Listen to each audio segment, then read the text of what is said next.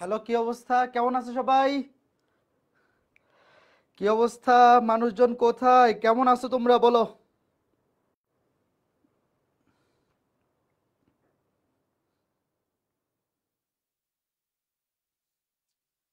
এই, মানুষজন কোথায়? কেমন আছো তোমরা?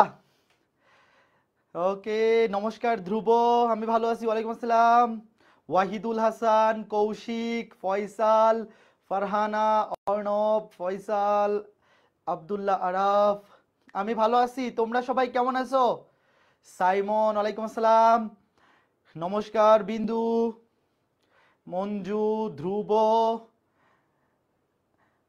আমিরা জান্নাত, রিফাত। ওকে আমি ভালো আছি। তোমরা সবাই কেমন আছো? বলো। সবাই কোথায়? দ্রুত চলে আসো। আমরা আমাদের আজকের ক্লাস খুব শীঘ্রই শুরু করে দিব।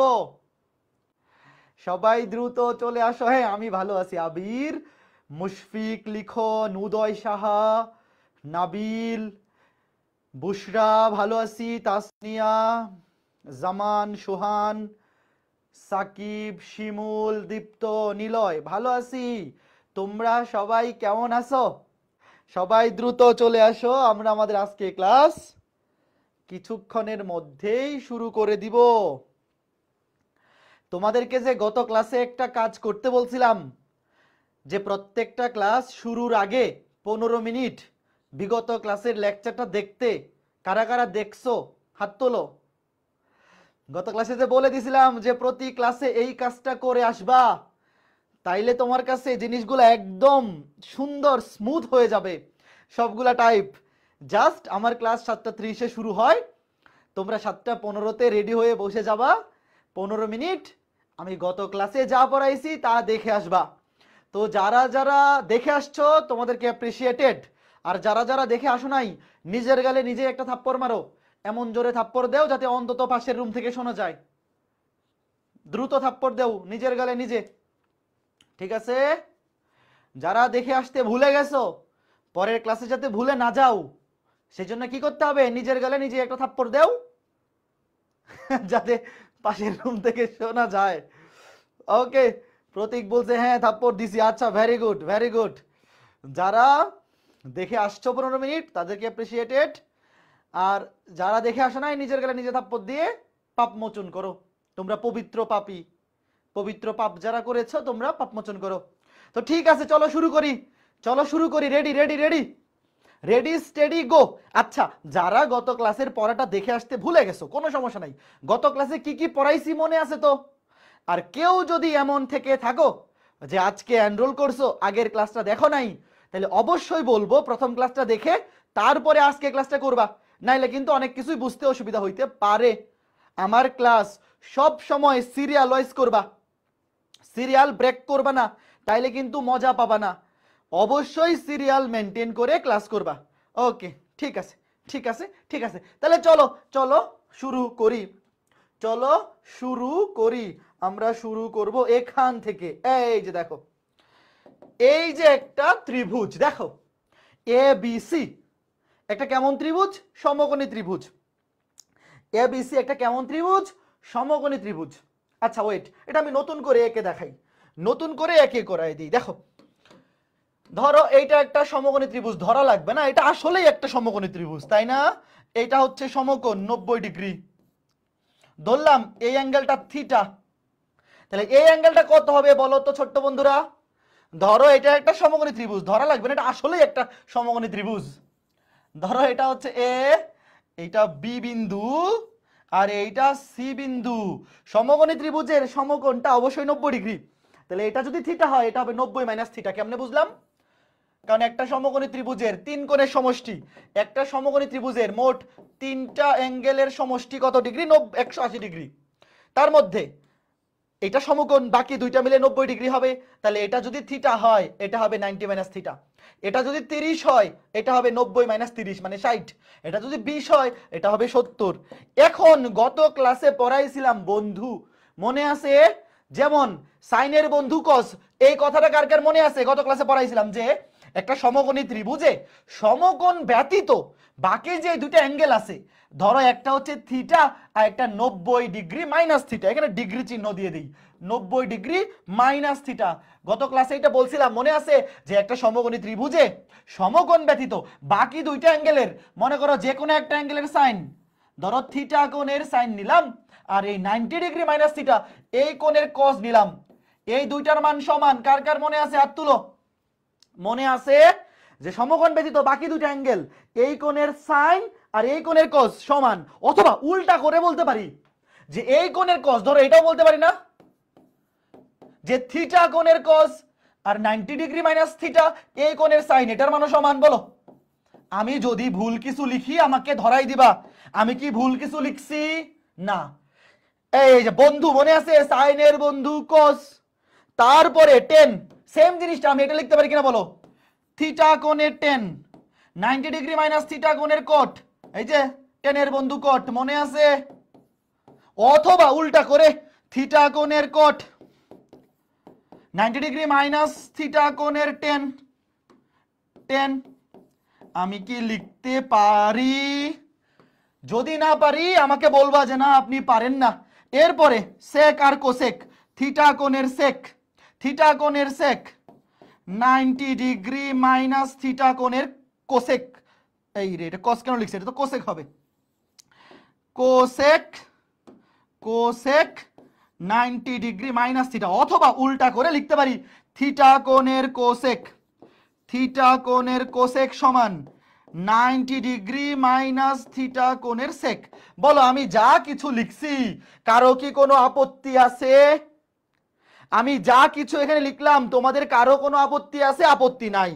এটা আমি লিখতে পারি। এটা আমি লিখতে পারি, তোমাদের কারও আপত্তি নাই। গত ক্লাসটা যারা করে আসছো, তোমরা সবাই জানো যে এই জিনিসটা এইভাবে লিখা যায়। এই জিনিসটা এইভাবে লিখা যায়। কথা সত্য। ওকে ফাইন এটাকে আমি একটু বামে সরাই নেই। আগে সরাইতে গেছি, বেশি সরে গেছিল। হ্যাঁ। কারও কোনো আপত্তি নাই। এখন এখন আমাকে তোমরা একটা জিনিস বলো। তার মানে তার মানে আমরা এখানে একটা সম্পর্ক পাইলাম না। যে সাইন এবং কোজ এরা ইন্টারচেঞ্জেবল দেখো, সাইনের সাথে কোজ ইন্টারচেঞ্জ হওয়া পসিবল তুমি কি এই জিনিসটা বুঝতেছো? খেয়াল করে দেখো। যে সাইনের সাথে কজ অ্যাঙ্গেলটা আমি উল্লেখ করলাম না। সাইনের সাথে কোজ ইন্টারচেঞ্জ করা যায়। সাইন, এরা হচ্ছে বন্ধু। বন্ধুর মধ্যে কি আদান প্রদান সম্পর্ক যে ধার দিলাম, নে বন্ধু, তোরে আমি এই দুই টাকা ধার দিলাম, তুই আমার সাত দিনের মধ্যে দিয়ে দিস। তো ধার দেওয়ার একটা ব্যাপার স্যাপার থাকে। সাইন এবং কজ এখানে আসলে ধারের কিছু না মানে ইন্টারচেঞ্জ হইতে পারে যে কোনো একটা অ্যাঙ্গেলের রেসপেক্টে দেখো, যেমন সাইন থিটার মান আর কজ নাইনটি মাইনাস থিটার ভ্যালু সেম মানে সাইন এবং কজ তুমি ইন্টারচেঞ্জ করতে পারো। এবং টেন এবং কোট দেখো টেন এবং কোট এদের মধ্যে একটা ইন্টারচেঞ্জের সম্পর্ক আছে। আছে কি নাই? সেক এবং কোসেক, এদের মধ্যেও ইন্টারচেঞ্জের একটা সম্পর্ক আছে। আছে নাকি নাই বলো? বলো, আমি এইরকম একটা এইরকম একটা প্রেজেন্টেশন দেখাইতে পারি না যে ভাই সাইন এবং কজের মধ্যে ইন্টারচেঞ্জ করার একটা সুযোগ আছে। টেন এবং কটের মধ্যে আছে সেক এবং কোসেকের মধ্যে আছে। কথা সত্য। এখন এই সম্পর্কটা আমরা একটা ফরম্যাটে দাঁড় করাবো। ফরম্যাটে দাঁড় করাবো কেন? বড় বড় অ্যাঙ্গেলকে ছোট অ্যাঙ্গেলে প্রকাশ করার জন্য। খেয়াল করে দেখো, আমি তোমাকে আরেকটা জিনিস বোঝাই। খুব সহজ জিনিস, এটা আমরা কেন শিখতেছি? এটা আগে আমরা একটু বুঝব, খেয়াল করে দেখো। দেখো জিনিসটা কি? মনে করো প্রথম তোমাকে একটা অ্যাঙ্গেল, থিটা, ধরো এই যে এই অ্যাঙ্গেলটা, থিটা। আচ্ছা থিটা অ্যাঙ্গেল যে কথা, তোমরা কি এই জিনিসটা বোঝো? যে এই এতটুকু ঘুরে আসা মানে তিনশো ষাট, তারপরে আবার থিটা। তিনশো ষাট প্লাস থিটা, একই কথা, এটা কি বোঝো? দেখো, শুধু থিটা যে কথা, তিনশো ষাট প্লাস থিটা একই কথা। একটু ভালো মতো বুঝো। শুধু থিটা মানে এখান থেকে এই পর্যন্ত, এই অ্যাঙ্গেলটা ধরো এই অ্যাঙ্গেলটাকে তুমি শুধু থিটা বলতে পারো। কিংবা তিনশো ষাট ডিগ্রি প্লাস থিটাও বলতে পারো। কেমনে? তিনশো ষাট ডিগ্রি কেমনে আসলো? মনে করো তুমি, আমরা তো অ্যাঙ্গেল এক অক্ষ থেকে হিসাব করা শুরু করি নর্মালি দেখো, ধরো এখান থেকে তুমি এই পর্যন্ত গেলা থিটা অ্যাঙ্গেল আর কেউ করল কি এখান থেকে ঘুরে আবার এই পর্যন্ত আসলো? একবার ঘুরে আসা মানে তিনশো ষাট ডিগ্রি ঘুরা। তারপরে আবার এখান থেকে এতটুকু কত? থিটা তিনশো ষাট প্লাস থিটা আচ্ছা কেউ যদি দুইবার ঘুরে, একবার ঘুরলে তিনশো ষাট, দুইবার ঘুরলে সাতশো বিশ, তারপরে আরও থিটা তার মানে এটাকে কেউ চাইলে এভাবে লিখতে পারে। সাতশো বিশ ডিগ্রি প্লাস থিটা বলো, লেখা যায় কিনা? সেম অ্যাঙ্গেলকে তুমি শুধু থিটা দিয়ে লিখতে পারো। একবার ঘুরে এসে আবার তিনশো ষাট প্লাস থিটা লিখতে পারো। দুইবার ঘুরে এসে সাতশো বিশ প্লাস থিটা লিখতে পারো। এখন, এইগুলার মধ্যে বা আরও, কেউ যদি আরও একবার ঘুরে তিনবার ঘুরবে, হবে এক হাজার আশি প্লাস থিটা ষাট বার পাঁচবার, অনেকভাবেই ঘুরতে পারে। বাট জিনিসটাকে সহজভাবে প্রেজেন্ট করার জন্য কোনটা ইউজ করব বলো? তুমি আমাকে বলো সাইন থিটা যে কথা সাইন শুধু থিটা যে কথা সাইন তিনশো ষাট প্লাস থিটা একই কথা সাইন তিনশো ষাট প্লাস থিটা একই কথা সাইন সাতশো বিশ প্লাস থিটা একই কথা আমি যদি তোমাকে বলি, এই তিনটা তো সেম জিনিস মিন করে। এই তিনটা একই জিনিস রিপ্রেজেন্ট করে। বাট এই তিনটার মধ্যে কীভাবে প্রেজেন্ট করলে জিনিসটাকে সুন্দর দেখা যাবে, সহজ মনে হবে? ধরো একটা কথাকে অনেক সহজভাবেও বলা যায়, অনেক কঠিন ভাবেও বলা যায়, তাই না? তো সহজভাবে কেমনে বলব? এটা বলব না, এটা বলব না। মনে করো থিটার মান তিরিশ ডিগ্রি, ধরো থিটার মান তিরিশ, তাহলে থিটার মান তিরিশ হলে একটা অ্যাঙ্গেল হবে তিরিশ ডিগ্রি। আরেকটা অ্যাঙ্গেল হবে তিনশো ষাট প্লাস তিরিশ মানে তিনশো নব্বই ডিগ্রি আরেকটা হবে সাতশো বিশ প্লাস তিরিশ, সাতশো পঞ্চাশ। তার মানে খেয়াল করে দেখো সাইন তিরিশ ডিগ্রির মান যত সাইন তিনশো নব্বই ডিগ্রির মানও তত সাইন সাতশো পঞ্চাশ ডিগ্রির মানও তত। তো এই তিনটার মধ্যে কোনটাকে দিয়ে প্রেজেন্ট করে ইজি সাইন তিরিশ ডিগ্রি না? বুঝতেছো? তার মানে বড় বড় অ্যাঙ্গেলকে ছোট ছোট অ্যাঙ্গেলের মাধ্যমে সহজ করে প্রেজেন্ট করার জন্য আমরা এই জিনিসটা শিখব। এই যে আমরা এই কনভার্সনটা শিখতেছি, যেমন আমাকে বলো কজ নাইনটি মাইনাস থিটা এইটাকে প্রেজেন্ট করা ইজি নাকি এইটা? তোমাকে যদি চুজ করতে বলা হয়, যে সাইন থিটার মান যত কজ নাইনটি মাইনাস থিটার মান একই। তুমি প্রেজেন্ট করবা, এইভাবে করবা নাকি এইভাবে? এইভাবে প্রেজেন্ট করবা সাইন থিটা অথবা সাইন নাইনটি মাইনাস থিটার মান যত কস থিটার মান ততই সেম মান। বাট এই দুইটার মধ্যে তুমি কোনটাকে চুজ করবা? সহজ এবং সুন্দরভাবে প্রেজেন্ট করার জন্য অবশ্যই শুধু থিটা অবশ্যই শুধু থিটা এগুলা, এগুলাকে তুমি চুজ করবে না। সহজ এবং সুন্দর করে প্রেজেন্ট করার জন্য এইগুলাকে কি তুমি চুজ করবা? অথবা এরকম তো আরও অনেক হইতে পারে। আমি জাস্ট তোমাকে একটা উদাহরণ দেখাইলাম। এরকম তো আরও অ্যাঙ্গেল অনেক হইতে পারে। যেমন, দেখো, শুধু থিটা বা শুধু তিরিশ ডিগ্রি যে কথা, তিনশো ষাট প্লাস তিরিশ, তিনশো নব্বই ডিগ্রি একই কথা, সাতশো পঞ্চাশ ডিগ্রি একই কথা, এরকম অনেকভাবে হইতে পারে না। বাট আমরা চেষ্টা করব জিনিসটাকে কীভাবে প্রেজেন্ট করতে? সবচেয়ে সুন্দর সহজ ওয়েতে এই জন্যই আমরা এখন শিখব যে কীভাবে এই ফরমেশনটা হয়। দেখো সাইন এবং কজের মধ্যে ইন্টারচেঞ্জ হয়। বড় অ্যাঙ্গেলকে ছোট অ্যাঙ্গেলে কনভার্ট করতে পারব আমরা সাইন থেকে কজের মধ্যে। টেন থেকে কটে ইন্টারচেঞ্জ হয়। সেক থেকে কোসেকের মধ্যে ইন্টারচেঞ্জ হয়। তো এই ইন্টারচেঞ্জগুলো আমরা এখন শিখব কীভাবে হয় এবং এটা শেখার উদ্দেশ্য হচ্ছে বড় বড় অ্যাঙ্গেলকে ছোট ছোট অ্যাঙ্গেলের মাধ্যমে প্রকাশ করতে পারা। তো চলো আমরা দেখি ঘটনাটা কি। এই যে দেখো, এখানে খেয়াল করে দেখো। Two N plus one into ninety plus minus ভালো মতো বুঝছ আগে, এটা একটা ঘটনা কি? আগে, আগেই লেখার দরকার নাই। দেখো, এটা কিন্তু আমি লিখে দিছি, দেখো। সাইন এবং কজের মধ্যে ইন্টারচেঞ্জ হয় টেন এবং কটের মধ্যে ইন্টারচেঞ্জ হয় সেক এবং কোসেকের মধ্যে ইন্টারচেঞ্জ হয়। এবং আপাতত আমরা এখানে থিটা বলতে একটা সূক্ষ্মকোণ ধরে নিলাম। থিটা যে সূক্ষ্মকোণই হইতে হবে তা নয় বাট একটা ত্রিভুজ দিয়ে বোঝানোর জন্য আমরা সূক্ষ্মকোণ ধরে নিলাম। থিটা সূক্ষ্মকোণ সূক্ষ্মকোণ মানে কত? শূন্য থেকে নব্বই। দেখো, আমরা থিটাকে একটা সূক্ষ্মকোণ ধরে নিলাম জাস্ট প্রথম চতুর্ভাগে একটা ত্রিভুজ দিয়ে বোঝানোর জন্য। আমরা যখন সূত্র অ্যাপ্লাই করব, এখানে যে সূক্ষ্মকোণই হইতে হবে তা নয়। আগে জাস্ট এতটুকু বোঝো।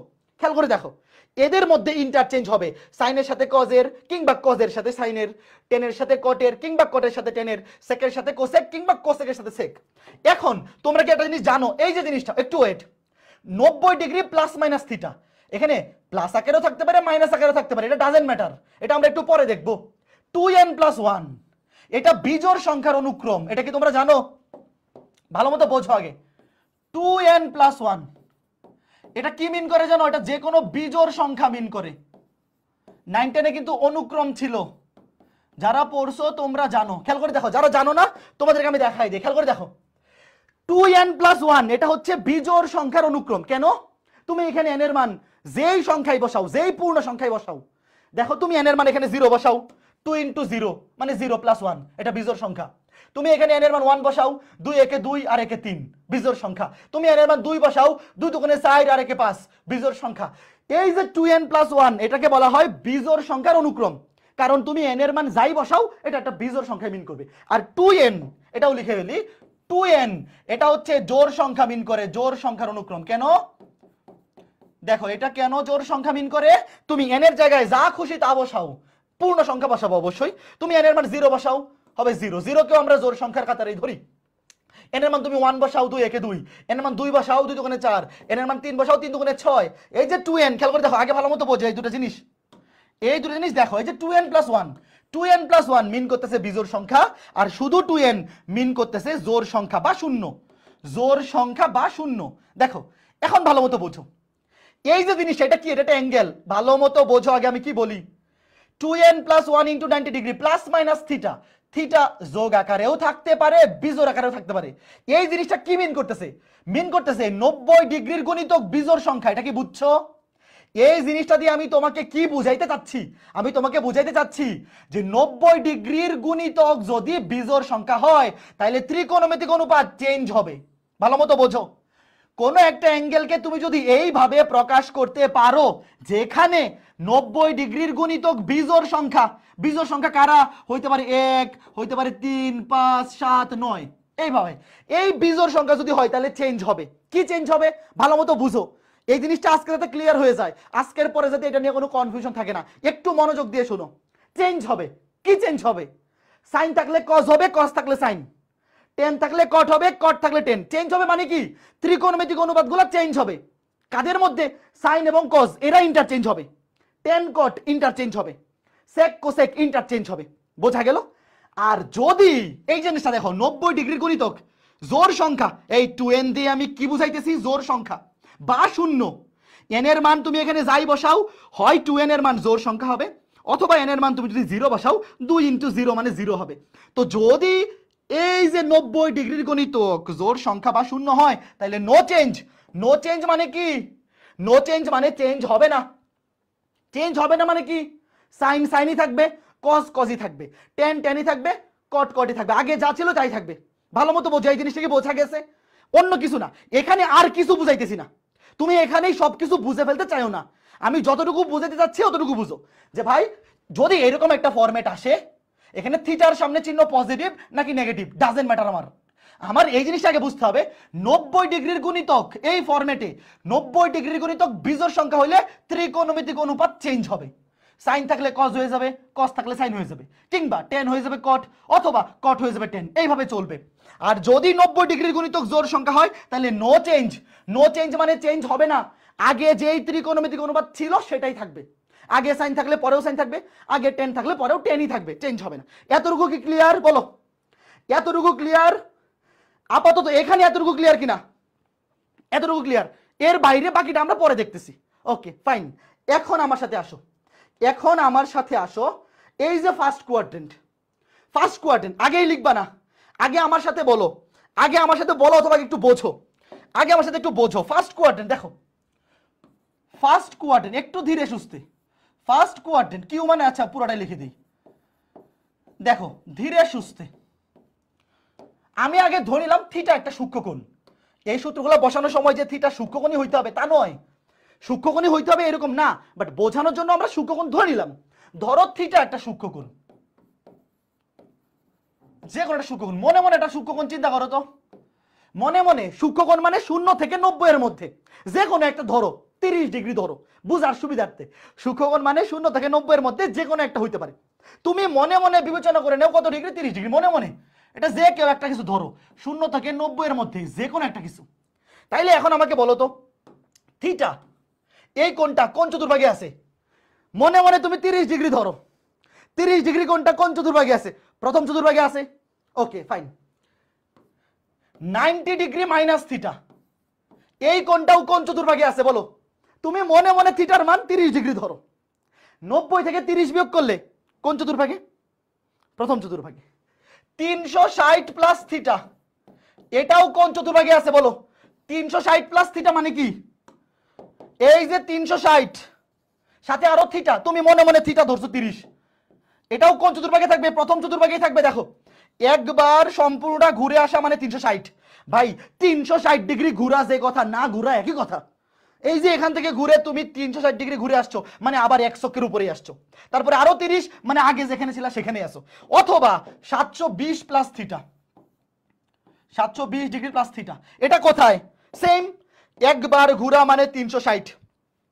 দুইবার ঘুরা মানে সাতশো বিশ। তারপরে আরও থিটা ধরো আরও তিরিশ ডিগ্রি। এটাও প্রথম চতুর্ভাগ। কেউ যদি তিনবার ঘুরে এক হাজার আশি ডিগ্রি প্লাস থিটা তার মানে প্রথম চতুর্ভাগে অ্যাঙ্গেলের কি কোনো শেষ আছে? বলো। প্রথম চতুর্ভাগে অ্যাঙ্গেল তো অজুত লক্ষ্য, নিযুত কোটি হইতে পারে না। বলো। সেম অ্যাঙ্গেল মনে করো তিরিশ ডিগ্রি, খেয়াল করে দেখো। তুমি তিরিশ ডিগ্রি অথবা শুধু একটা থিটা ধরো। এই থিটাকে তুমি নাইনটি মাইনাস থিটা এটাও প্রথম চতুর্ভাগে। তিনশো ষাট প্লাস থিটা সাতশো বিশ, একবার ঘুরে আসো প্লাস থিটা দুইবার ঘুরে আসো, তিনবার ঘুরে আসো, এরকম। অসংখ্য অ্যাঙ্গেল প্রথম চতুর্ভাগে আছে। না, আমি যদি তোমাকে বলি যে এই অ্যাঙ্গেলগুলোকে যে কোনো একটার মাধ্যমে প্রকাশ করতে কোনটা সবচেয়ে ইজিয়েস্ট বলো। তুমি এই যে যতগুলো আছে, সবগুলোর মধ্যে সবচেয়ে ইজি কোনটা? এটা না? তোমার কি মনে হয় না? তোমার, মনে করো তোমার কাছে কেউ একজন জানতে চাইলো। তোমার কাছে মনে করো কেউ একজন অ্যাড্রেস জানতে চাইলো। এটা ঠিকানা যে, ভাই, অমুক জায়গায় কেমনে যাব? তোমার কি এটা দায়িত্ব না? জিনিসটাকে অনেক সুন্দর করে বুঝাই দেওয়া যাতে উনি বুঝতে পারে? নাকি তুমি অনেক পেশায় পুষায় বলবা? পেশায় পুষায় বলবা না? আমরা চেষ্টা করব, আমরা যে গণিত শিখতেছি, কেন শিখতেছি? আমাদের রিয়েল লাইফের প্রবলেমগুলা যাতে আমরা খুব স্মুথলি সলভ করতে পারি। যেমন তোমরা যে হায়ার ম্যাথ পড়তেছো, তোমরা তো অনেক সময় জিজ্ঞেস করতে পারো, ভাই, এই জিনিসটা আমার কোথায় কাজে লাগবে? ভাই হায়ার ম্যাথের সকল জিনিস যে আমাদের লাইফে রিয়েল এক্সপিরিয়েন্স হবে, এরকম না। বাট কোথায় কাজে লাগবে? আমরা যে হায়ার ম্যাথের প্রবলেম সলভিং শিখতেছি, প্রত্যেকটা ম্যাথ এক একটা প্রবলেম আমরা প্রবলেম সলভ করতেছি। ঠিক একইভাবে যখন আমরা ভালো ভালোভাবে বেশি বেশি করে প্রবলেম সলভিং শিখব, তখন আমাদের রিয়েল লাইফে আমরা যখন কোনো প্রবলেমে পড়ব, আমাদের প্রবলেমটা সলভ করার ক্যাপাবিলিটি বৃদ্ধি পাবে। এটাই হচ্ছে গণিতের সৌন্দর্য। যারা ম্যাথ অনেক ভালো সলভ করতে পারে, ওরা রিয়েল লাইফের প্রবলেমগুলো কেউ ইজিলি সলভ করতে পারে। এইভাবে তুমি রিলেট করতে পারবা। সব কিছু যে ডিরেক্ট লাইফে অ্যাপ্লাই করতে হবে, এরকম না। তো ঠিক আছে, চলো।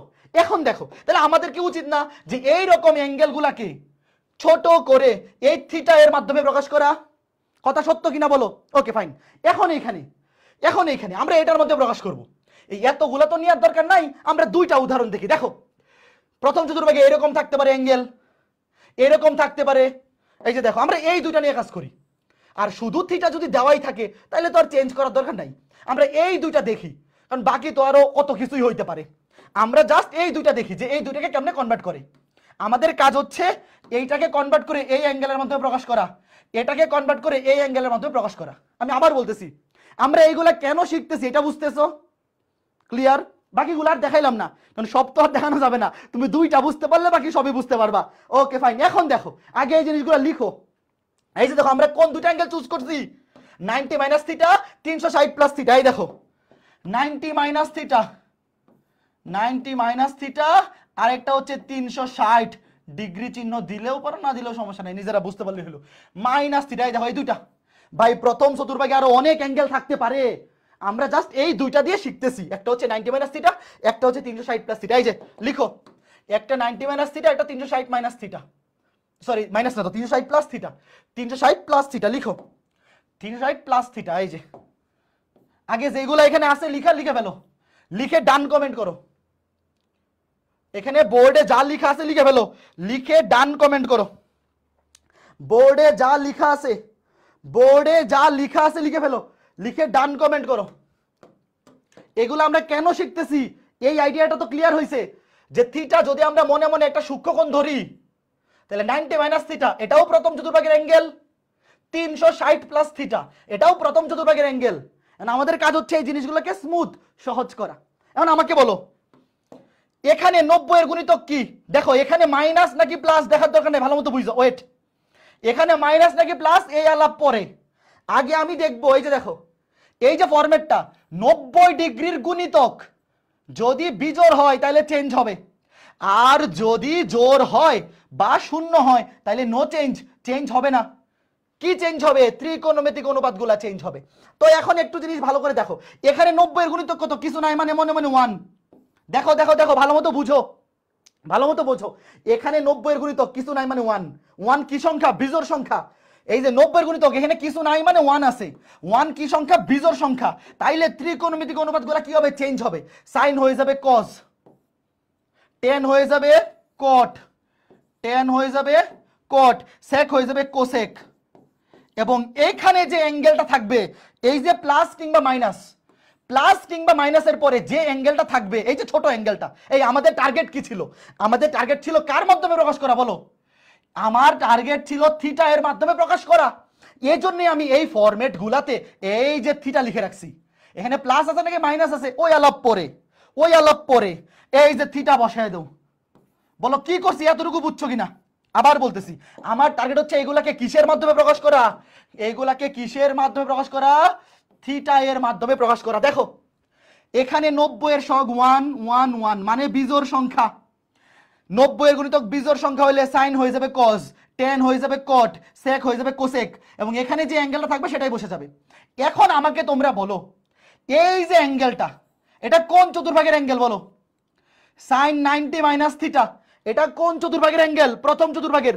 প্রথম চতুর্ভাগে সাইনের চিহ্ন কি বলো? প্রথম চতুর্ভাগে সাইনের চিহ্ন কি? প্রথম চতুর্ভাগে সবাই পজিটিভ না। ভাই, প্রথম চতুর্ভাগে তো চিহ্ন নিয়ে কোনো ঝামেলাই নাই। কারণ প্রথম চতুর্ভাগে সকল ত্রিকোণমিতিক অনুপাতের চিহ্ন পজিটিভ তাহলে এই যে অ্যাঙ্গেলটা এটা প্রথম চতুর্ভাগের অ্যাঙ্গেল প্রথম চতুর্ভাগে সাইনের চিহ্ন পজিটিভ তাহলে এটা চিহ্নটা এখানে কি দিতে হবে? প্লাস দিতে হবে। এই দেখো, আমি একটু মুছে লিখি, একটু জায়গা করে লিখি। এখানে লিখলাম কস থিটা এই যে প্লাস আচ্ছা প্লাস তো লেখা লাগে না, তাও আমি তোমাকে বোঝানোর জন্য লিখলাম, এই যে প্লাস সবগুলা প্লাস দেখো, প্রথম চতুর্ভাগে, এই যে এই অ্যাঙ্গেলগুলা নাইনটি মাইনাস থিটা অ্যাঙ্গেলগুলা প্রথম চতুর্ভাগের অ্যাঙ্গেল প্রথম চতুর্ভাগে সাইনের চিহ্ন পজিটিভ টেনের চিহ্ন পজিটিভ সেকের চিহ্ন পজিটিভ দেখো, চিহ্নগুলা কিন্তু মাদার অ্যাঙ্গেল থেকে আসে। তুমি এই জিনিসটা এইভাবে চিন্তা করতে পারো যে প্রথম চতুর্ভাগে তো সবার চিহ্নই পজিটিভ তাইলে এখানে তো টেনশন করার কোনো কারণ নাই হ্যাঁ? আসলেই কারণ নাই। বাট তাও যদি তুমি শিওর হইতে চাও যে এই চিহ্নটা কজের থেকে আসছে নাকি সাইনের থেকে কার থেকে আসছে? সাইন থেকে আসছে। কেন? কারণ চিহ্ন ডিপেন্ড করে মাদার অ্যাঙ্গেলের উপর। দেখো, এটা হচ্ছে মাদার মাতৃ অ্যাঙ্গেল আর এটা হচ্ছে মাত্র শিশু, সে জন্ম নিল। আমাকে তোমরা বলো, জন্মের পর পর শিশু কি বোঝে? তার জন্য কোনটা ভালো, কোনটা খারাপ? এই কজের চিহ্ন প্লাস হইলে ভালো হবে, নাকি মাইনাস হইলে ভালো হবে? সে কি জন্ম নেওয়ার সাথে সাথে জানে? জানে না। তার কখন ঠান্ডা লাগতেছে, গরম লাগতেছে, সেটা ডিসাইড করবে তার মা। এই যে এটা হচ্ছে মাদার অ্যাঙ্গেল কাজে এর চিহ্ন পজিটিভ হবে নাকি নেগেটিভ হবে, সে ডিসাইড করবে এই যে মাদার অ্যাঙ্গেল তাহলে প্রথম চতুর্ভাগে সাইনের চিহ্ন পজিটিভ এই জন্য এখানে পজিটিভ হয়েছে বুঝছ? জন্মের পর শিশু তো জানে না। তার সে ঠান্ডা লাগতেছে নাকি গরম লাগতেছে সে বুঝবে না। বুঝবে মা সেই অনুযায়ী মা ট্রিটমেন্ট করবে। তো মা যখন দেখবে তার গরম লাগতেছে, তখন কি বাতাস করবে? যখন বুঝবে যে ঠান্ডা লাগতেছে, তখন খেতা দিয়ে মোড়াই দিবে। তাহলে এই যে চিহ্নটা ডিপেন্ড করতেছে এই সাইনের উপর। ভাই, প্রথম চতুর্ভাগে সাইন পজিটিভ এই যে প্লাস প্রথম চতুর্ভাগে টেনও পজিটিভ এই যে প্লাস প্রথম চতুর্ভাগে স্যাকও পজিটিভ ভাই, প্রথম চতুর্ভাগে প্রথম চতুর্ভাগে সবাই পজিটিভ কাজেই প্রথম চতুর্ভাগে এটা নিয়ে কনফিউশন হবে না। পরবর্তীগুলাতে কনফিউশন হইতে পারে। কনফিউশন যাতে না হয় সেই জন্য আমি তোমাকে বোঝাই দেবো। টেনশন নাই। এখন আমাকে বলো, এখানে। এই যে তিনশো ষাট, তিনশো ষাটকে কীভাবে লেখা যায়? বলো, মনে মনে চিন্তা করো। এইভাবে লেখা যায় না? ফোর এটা মনে মনে। ফোর ইন্টু নব্বই ডিগ্রি প্লাস থিটা দেখো, মনে মনে। আমরা যে ফরম্যাটটা শিখছি, আমরা ফরম্যাট শিখছি নব্বই ডিগ্রির গুণিতক। নব্বই ডিগ্রির গুণিতক আকারে। তাহলে আমাকে বলো, তিনশো ষাটকে কি লেখা যায়? চার ইন্টু নব্বই প্লাস থিটা তাহলে নব্বইয়ের গুণিতক কি এখানে জোর নাকি বিজোর? তিনশো ষাট যদি থাকে, তাহলে অবশ্যই নব্বইয়ের জোর গুণিতক, এটা মনে মনে। নব্বইয়ের জোর গুণিতক হইলে কি হয়? নো চেঞ্জ নব্বইয়ের জোর গুণিতক হইলে নো চেঞ্জ তার মানে ত্রিকোণমিতিক অনুপাত কি হবে না? চেঞ্জ হবে না। সাইন সাইনই থাকবে। সাইন থিটা টেন টেনই থাকবে। টেন থিটা সেক সেকই থাকবে। এবং প্রথম চতুর্ভাগে প্রথম চতুর্ভাগে সকল ত্রিকোণমিতিক অনুপাতের চিহ্ন পজিটিভ এটা নিয়ে আমার কোনো চিন্তার কারণ নাই। বলো, এতটুকু ক্লিয়ার কিনা? প্রথম চতুর্ভাগ ক্লিয়ার কিনা? আবার বলতেছি। নব্বইয়ের গুণিতক বিজোর সংখ্যা হইলে সাইন হয়ে যাবে কস টেন হয়ে যাবে কট সেক হয়ে যাবে কোসেক এবং অ্যাঙ্গেল বসবে এই যে এই থিটা কারণ আমার টার্গেটই ছিল এটাকে থিটা এর মাধ্যমে প্রকাশ করা। এবং প্রথম চতুর্ভাগে সবার চিহ্নই পজিটিভ কাজেই প্রথম চতুর্ভাগের চিহ্ন নিয়ে কোনো টেনশন নাই। তারপরেও তুমি যদি জিজ্ঞেস করো, এই চিহ্নটা কার উপর ডিপেন্ড করতেছে? কজের উপর নাকি সাইনের উপর? অবশ্যই সাইনের উপর। চিহ্ন ডিপেন্ড করে মাদার অ্যাঙ্গেলের ত্রিকোণমিতিক অনুপাতের উপর। প্রথম চতুর্ভাগ ক্লিয়ার ওকে ফাইন ঠিক আছে। এখন দ্বিতীয় চতুর্ভাগ, বলো। আমি উপরে লিখতেছি, দেখো, আমি দুইটা অ্যাঙ্গেল লিখব। নাইনটি ডিগ্রি প্লাস থিটা এটা কোন চতুর্ভাগে আছে? তুমি থিটা, মনে মনে তিরিশ ডিগ্রি, থিটা যে কোনো একটা সূক্ষ্মকোণ ধরো। নব্বই প্লাস তিরিশ, একশো বিশ, কোন চতুর্ভাগ? দ্বিতীয় চতুর্ভাগ। অথবা একশো আশি মাইনাস আমি দুইটা দিয়ে উদাহরণটা দিচ্ছি। একশো আশি মাইনাস থিটা একশো আশি মাইনাস থিটা নব্বই এর সাথে কোনো একটা কিছু যোগ, দেখো। নব্বই এর সাথে একটা সূক্ষ্মকোণ যোগ করো, নব্বই প্লাস তিরিশ, একশো বিশ। অথবা একশো আশি থেকে একটা থিটা বিয়োগ করো, একশো আশি মাইনাস তিরিশ, একশো পঞ্চাশ। এই দুইটাই কোন চতুর্ভাগে আছে, বলো? এই দুইটাই দ্বিতীয় চতুর্ভাগে আছে। কথা সত্য নাকি মিথ্যা? এই দুইটা অ্যাঙ্গেলই দ্বিতীয় চতুর্ভাগে আছে। ফাইন ওকে ফাইন এখন আমাকে বলো, এই যে নব্বই প্লাস থিটা নব্বইয়ের গুণিতক ওয়ান ওয়ান ওয়ান কি সংখ্যা? নব্বইয়ের সামনে কিছু নাই মানে মনে মনে ওয়ান আছে বিজোর সংখ্যা। তাইলে দেখো সাইন হয়ে যাবে কস সাথে বসবে থিটা টেন হয়ে যাবে কট সাথে বসবে থিটা সেক হয়ে যাবে কোসেক সাথে বসবে থিটা এখন আমাকে বলো, এই অ্যাঙ্গেলটা কোন চতুর্ভাগে? দ্বিতীয় চতুর্ভাগে। বলো, দ্বিতীয় চতুর্ভাগে সাইনের চিহ্ন কি? ভাই, দ্বিতীয় চতুর্ভাগে সাইনের চিহ্ন পজিটিভ এই মনে আছে তো? গত ক্লাস যারা করছ, দ্বিতীয় চতুর্ভাগে সাইনের চিহ্ন পজিটিভ এই যে, এই চিহ্নটা থেকে বসছে?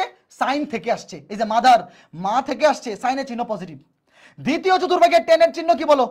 দ্বিতীয় চতুর্ভাগে টেনের চিহ্ন কি? নেগেটিভ নেগেটিভ নেগেটিভ দ্বিতীয় চতুর্ভাগে টেনের চিহ্ন নেগেটিভ এই যে চিহ্ন, এই যে চিহ্ন টেনের চিহ্ন নেগেটিভ দ্বিতীয় চতুর্ভাগে সেকের চিহ্ন কি? এটাও নেগেটিভ এতটুকু জিনিস কারা কারা বুঝছ? হাত তুলো। এই জিনিসটা বুঝে ফেললে বাকিগুলাও শেষ।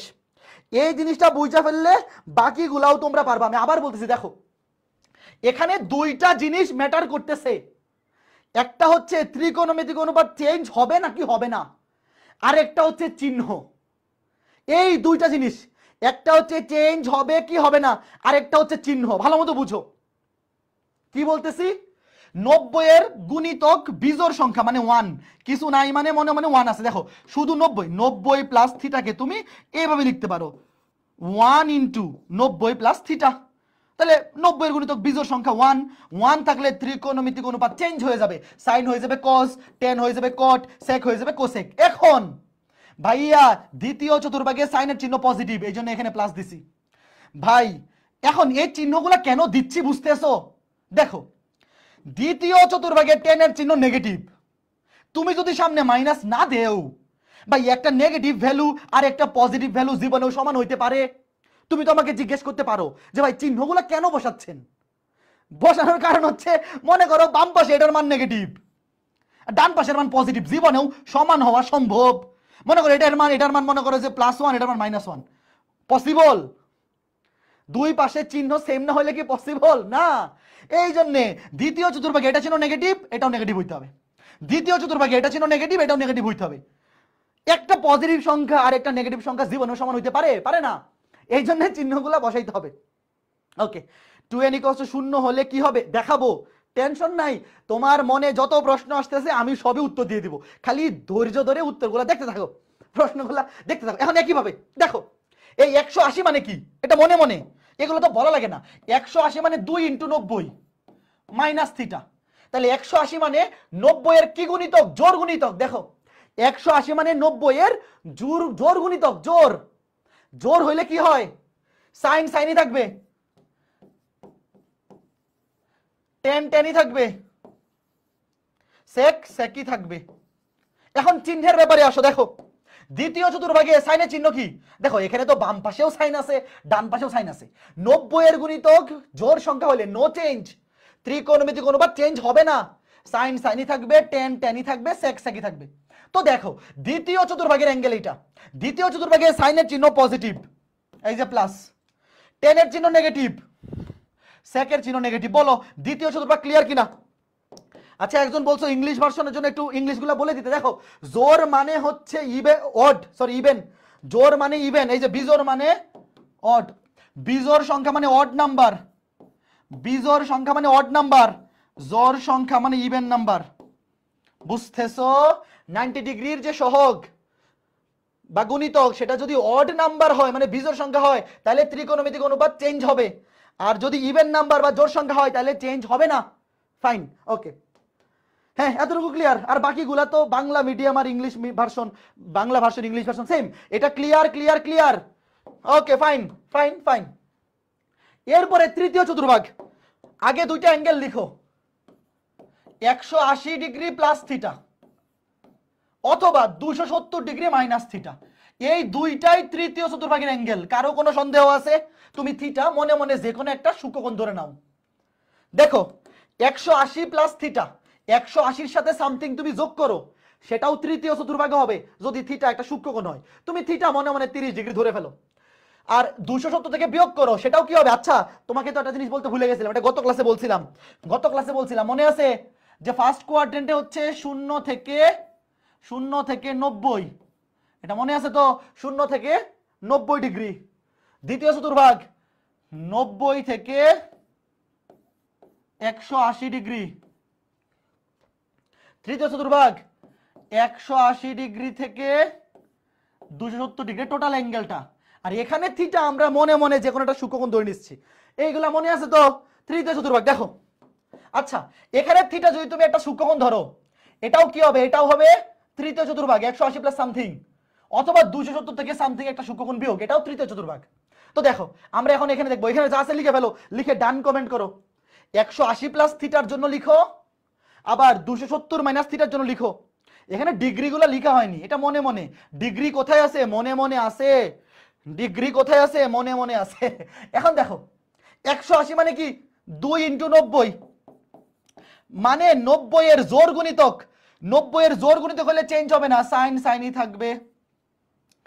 টেন টেনই থাকবে। সেক সেকই থাকবে। এখন আমাকে বলো, তৃতীয় চতুর্ভাগে তৃতীয় চতুর্ভাগে সাইনের চিহ্ন কি? এই, মনে আছে অল স্টুডেন্ট টেক কেয়ার মনে আছে কার কার? অল প্রথম চতুর্ভাগে অল পজিটিভ দ্বিতীয় চতুর্ভাগে সাইন এবং সাইনের বিপরীত কোসেক পজিটিভ তৃতীয় চতুর্ভাগে টেন এবং টেনের বিপরীত কট পজিটিভ চতুর্থ চতুর্ভাগে কস এবং কজের বিপরীত সেক পজিটিভ তাহলে ভাইয়া, তৃতীয় চতুর্ভাগে সাইনের চিহ্ন কিন্তু নেগেটিভ তৃতীয় চতুর্ভাগে এগুলো গত ক্লাসে পড়াইছি মাইনাস ভাইয়া, তৃতীয় চতুর্ভাগে টেনের চিহ্ন কিন্তু পজিটিভ তৃতীয় চতুর্ভাগে সেকের চিহ্ন নেগেটিভ এই, বুঝতাছো নাকি খুঁজতাছো? বলো, দেখো। ভাই, তৃতীয় চতুর্ভাগে শুধু টেন আর কট পজিটিভ বাকিগুলা কি?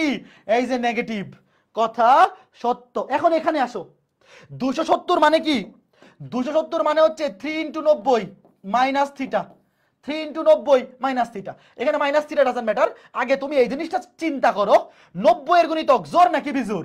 অবশ্যই বিজোর। তাহলে সাইন হয়ে যাবে কস টেন হয়ে যাবে কট এবং সেক হয়ে যাবে কোসেক এখন চিহ্নের ব্যাপার। চিহ্ন, দেখো। তৃতীয় চতুর্ভাগে সাইনের চিহ্ন নেগেটিভ টেনের চিহ্ন পজিটিভ টেনের চিহ্ন পজিটিভ সেকের চিহ্ন নেগেটিভ বলো, বুঝতেছো? সহজ না? এই জিনিসগুলা এইচএসসি তে কোনো সমস্যা হবে না। কারণ এইচএসসি পরীক্ষায় ক্যালকুলেটর ইউজ করা যায়।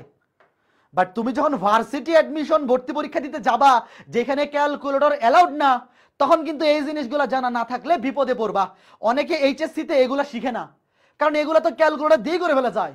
বাট অ্যাডমিশনে গিয়ে ভার্সিটি অ্যাডমিশনে কাজে লাগবে। ওকে ফাইন এখন আসো, চতুর্থ চতুর্ভাগ। চতুর্থ চতুর্ভাগে যাওয়ার আগে আমাকে তোমরা একটা জিনিস বলো। চতুর্থ চতুর্ভাগে যাওয়ার আগে আমাকে তোমরা একটা জিনিস বলো। কি বলবা? দেখো। এক্স অক্ষ এইটা, ওয়াই অক্ষ এইটা। তোমরা কি একটা জিনিস জানো যে ঘড়ির কাটার বিপরীতে ঘুরলে অ্যাঙ্গেল হয় পজিটিভ আর ঘড়ির কাটার দিকে ঘুরলে অ্যাঙ্গেল হয় নেগেটিভ? ধর এটা মাইনাস থিটা, এটা কি তোমরা জানো? ঘড়ির কাটার বিপরীতে ঘুরলে যে অ্যাঙ্গেল তৈরি হয় সেটা হয় ধনাত্মক অ্যাঙ্গেল। আর ঘড়ির কাটার দিকে, এই যে ঘড়ির কাটা কিন্তু এই দিকে ঘুরে, এই যে এইদিকে, দেখো এইদিকে। ঘড়ির কাটা এই দিকে ঘুরে। আমরা এখানে যে অ্যাঙ্গেলটা নিছি, সেটাও এই দিকে ঘুরতেছে।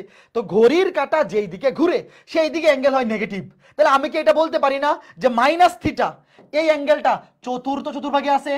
আমি বলতে পারি কিনা বলো যে এটা। এটা কোন চতুর্ভাগে আছে? ফোর্থ কোয়াড্রেন্ট বলতে পারি কিনা বলো? মাইনাস থিটা এই অ্যাঙ্গেলটা কোন চতুর্ভাগে আছে? চতুর্থ চতুর্ভাগে আছে। আবার আমি কি এটা বলতে পারি? যে এখান থেকে দেখো নব্বই, একশো আশি, দুশো সত্তর প্লাস থিটা ধরো এটা হচ্ছে এই যে দেখো, এখান থেকে এতটুকু, নব্বই, একশো আশি, দুশো সত্তর মানে তুমি দুশো সত্তর ডিগ্রি ঘুরছো মানে তৃতীয় চতুর্ভাগে এখানে আসো ওয়াই অক্ষের বিপরীত দিকে আসো। এর সাথে আরও একটা অ্যাঙ্গেল এই যে মনে করো এটাকে আমি নাম দিলাম দুইশো সত্তর প্লাস থিটা এটাও তৃতীয় চতুর্ভাগেই আছে সরি চতুর্থ চতুর্ভাগেই আছে। এতটুকু তোমরা একমত? দেখো। আমরা চতুর্থ চতুর্ভাগের দুইটা অ্যাঙ্গেল খুঁজে বাইর করলাম। মাইনাস থিটা দেখো, এখানে আমরা থিটা বলতে একটা সূক্ষ্মকোণ ধরে নিচ্ছি। তুমি ধরো থিটার মান তিরিশ ডিগ্রি। তাহলে মাইনাস তিরিশ ডিগ্রি মাইনাস তিরিশ ডিগ্রিও চতুর্থ চতুর্ভাগে আছে। দেখো মাইনাস তিরিশ ডিগ্রি, এটাও চতুর্থ চতুর্ভাগে আছে। আবার দুশো সত্তর ডিগ্রি প্লাস থিটা ধরো দুশো সত্তর প্লাস এটা তো পজিটিভ প্লাস থিটা মানে ধরো প্লাস তিরিশ, তিনশো ডিগ্রি। এটাও কোন চতুর্ভাগে আছে? চতুর্থ চতুর্ভাগেই আছে। তার মানে এই দুইটাই কোন চতুর্ভাগে আছে? চতুর্থ চতুর্ভাগে। তা আমি এই দুইটাকে চতুর্থ চতুর্ভাগে ধরতে পারি না? ধরতে পারি। কথা সত্য। ফাইন ফাইন ফাইন অথবা কেউ চাইলে এভাবে বলতে পারে না যে এতটুকু হচ্ছে তিনশো ষাট। এতটুকু হচ্ছে তিনশো ষাট। তারপরে আবার এদিকে আসলাম মানে তিনশো ষাট মাইনাস থিটা বলো। কেউ চাইলে কিন্তু এটাও বলতে পারে। তিনশো ষাট ডিগ্রি মাইনাস থিটা কথা সত্য কিনা বলো? আমরা অতগুলা নিব না, আমরা দুইটা দিয়ে উদাহরণটা শিখব। যে মাইনাস থিটা এটাও চতুর্থ চতুর্ভাগে আছে। দুশো সত্তরের সাথে প্লাস সামথিং এটাও চতুর্থ চতুর্ভাগে আছে। অথবা তিনশো ষাট ডিগ্রি ঘুরা মানে আবার একশোকে ফেরত আসা। সেখান থেকে আবার কোনো অ্যাঙ্গেল মাইনাস করলে, সেটাও চতুর্থ চতুর্ভাগে আছে। কথা সত্য, আমি জাস্ট এই দুইটা, প্রথম দুইটা দিয়ে উদাহরণ দিব। একটা হচ্ছে মাইনাস থিটা একটা দুশো ষাট সত্তর প্লাস থিটা এই যে, লিখে ফেলো। একটা হচ্ছে মাইনাস থিটা আর একটা হচ্ছে দুইশো সত্তর ডিগ্রি প্লাস থিটা আজকে ক্লাসটা একটু ভালো মতো বুঝে ফেলো।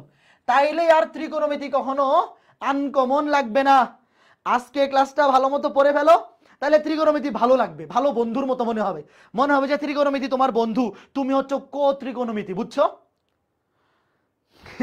সাইনের বন্ধু কোসাইন, টেনের বন্ধু কোটেন মানে কোটেনজেন্ট মানে কোট।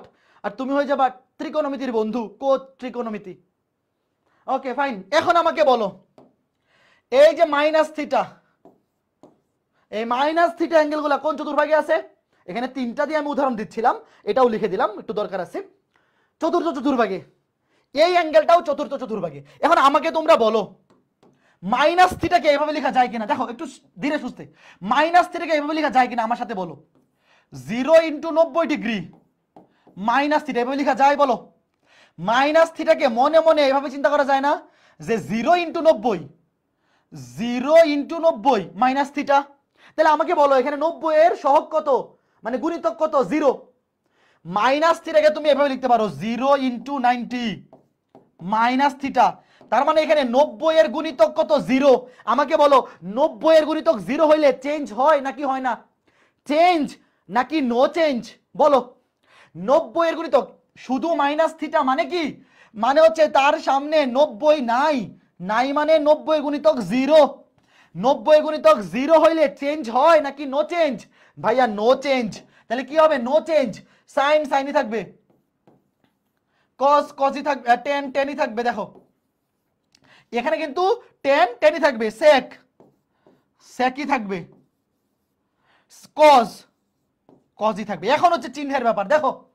এখন আমাকে বলো, এটা কোন চতুর্ভাগের অ্যাঙ্গেল চতুর্থ চতুর্ভাগের অ্যাঙ্গেল চতুর্থ চতুর্ভাগে সাইনের চিহ্ন কি প্লাস নাকি মাইনাস মাইনাস ভালো মতো বুঝো, এই যে মাইনাস আবার চতুর্থ চতুর্ভাগে টেনের চিহ্ন কি? এই, এটা কিন্তু চতুর্থ চতুর্ভাগের অ্যাঙ্গেল মনে আছে তো?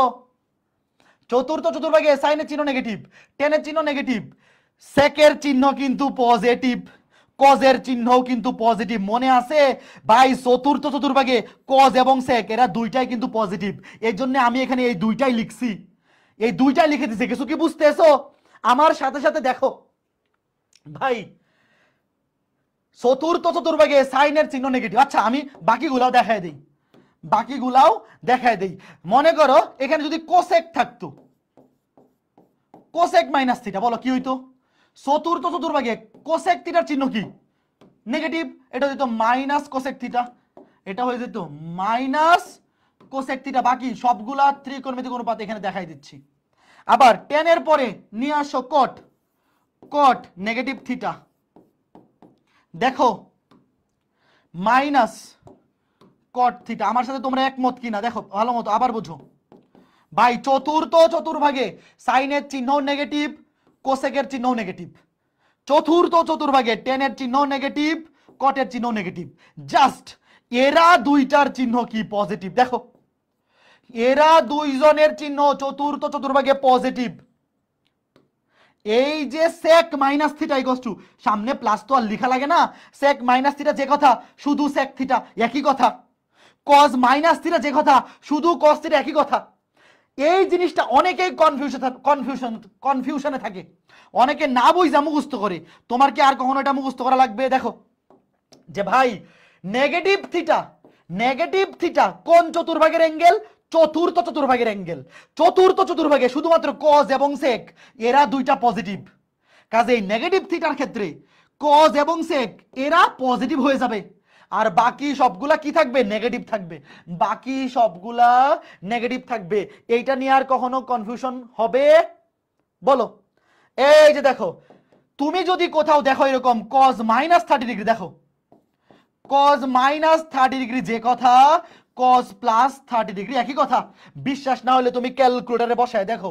অথবা সেক মাইনাস থার্টি যে কথা সেক প্লাস থার্টি একই কথা। বুঝতেছো? এই দুইটার ক্ষেত্রে। জাস্ট এই দুইটার জন্য এটা প্রযোজ্য। দেখো। কজ মাইনাস থার্টি যে কথা প্লাস কস সামনে প্লাস তো লেখা লাগে না। একই কথা। মানে কজ মাইনাস থিটার ভ্যালু যত কজ প্লাস থিটার ভ্যালু একই। বোঝা গেছে? বাট এই দুইটা ব্যতীত কজ এবং সেক এরা দুইটা ছাড়া। বাকি যেই চারটা ত্রিকোণমিতিক অনুপাত আছে, সেই ক্ষেত্রে যদি নেগেটিভ অ্যাঙ্গেল থাকে, তাহলে মাইনাসটা কোথায় চলে আসবে বলো? সামনে চলে আসবে। সামনে যেমন, একটা উদাহরণ দেই।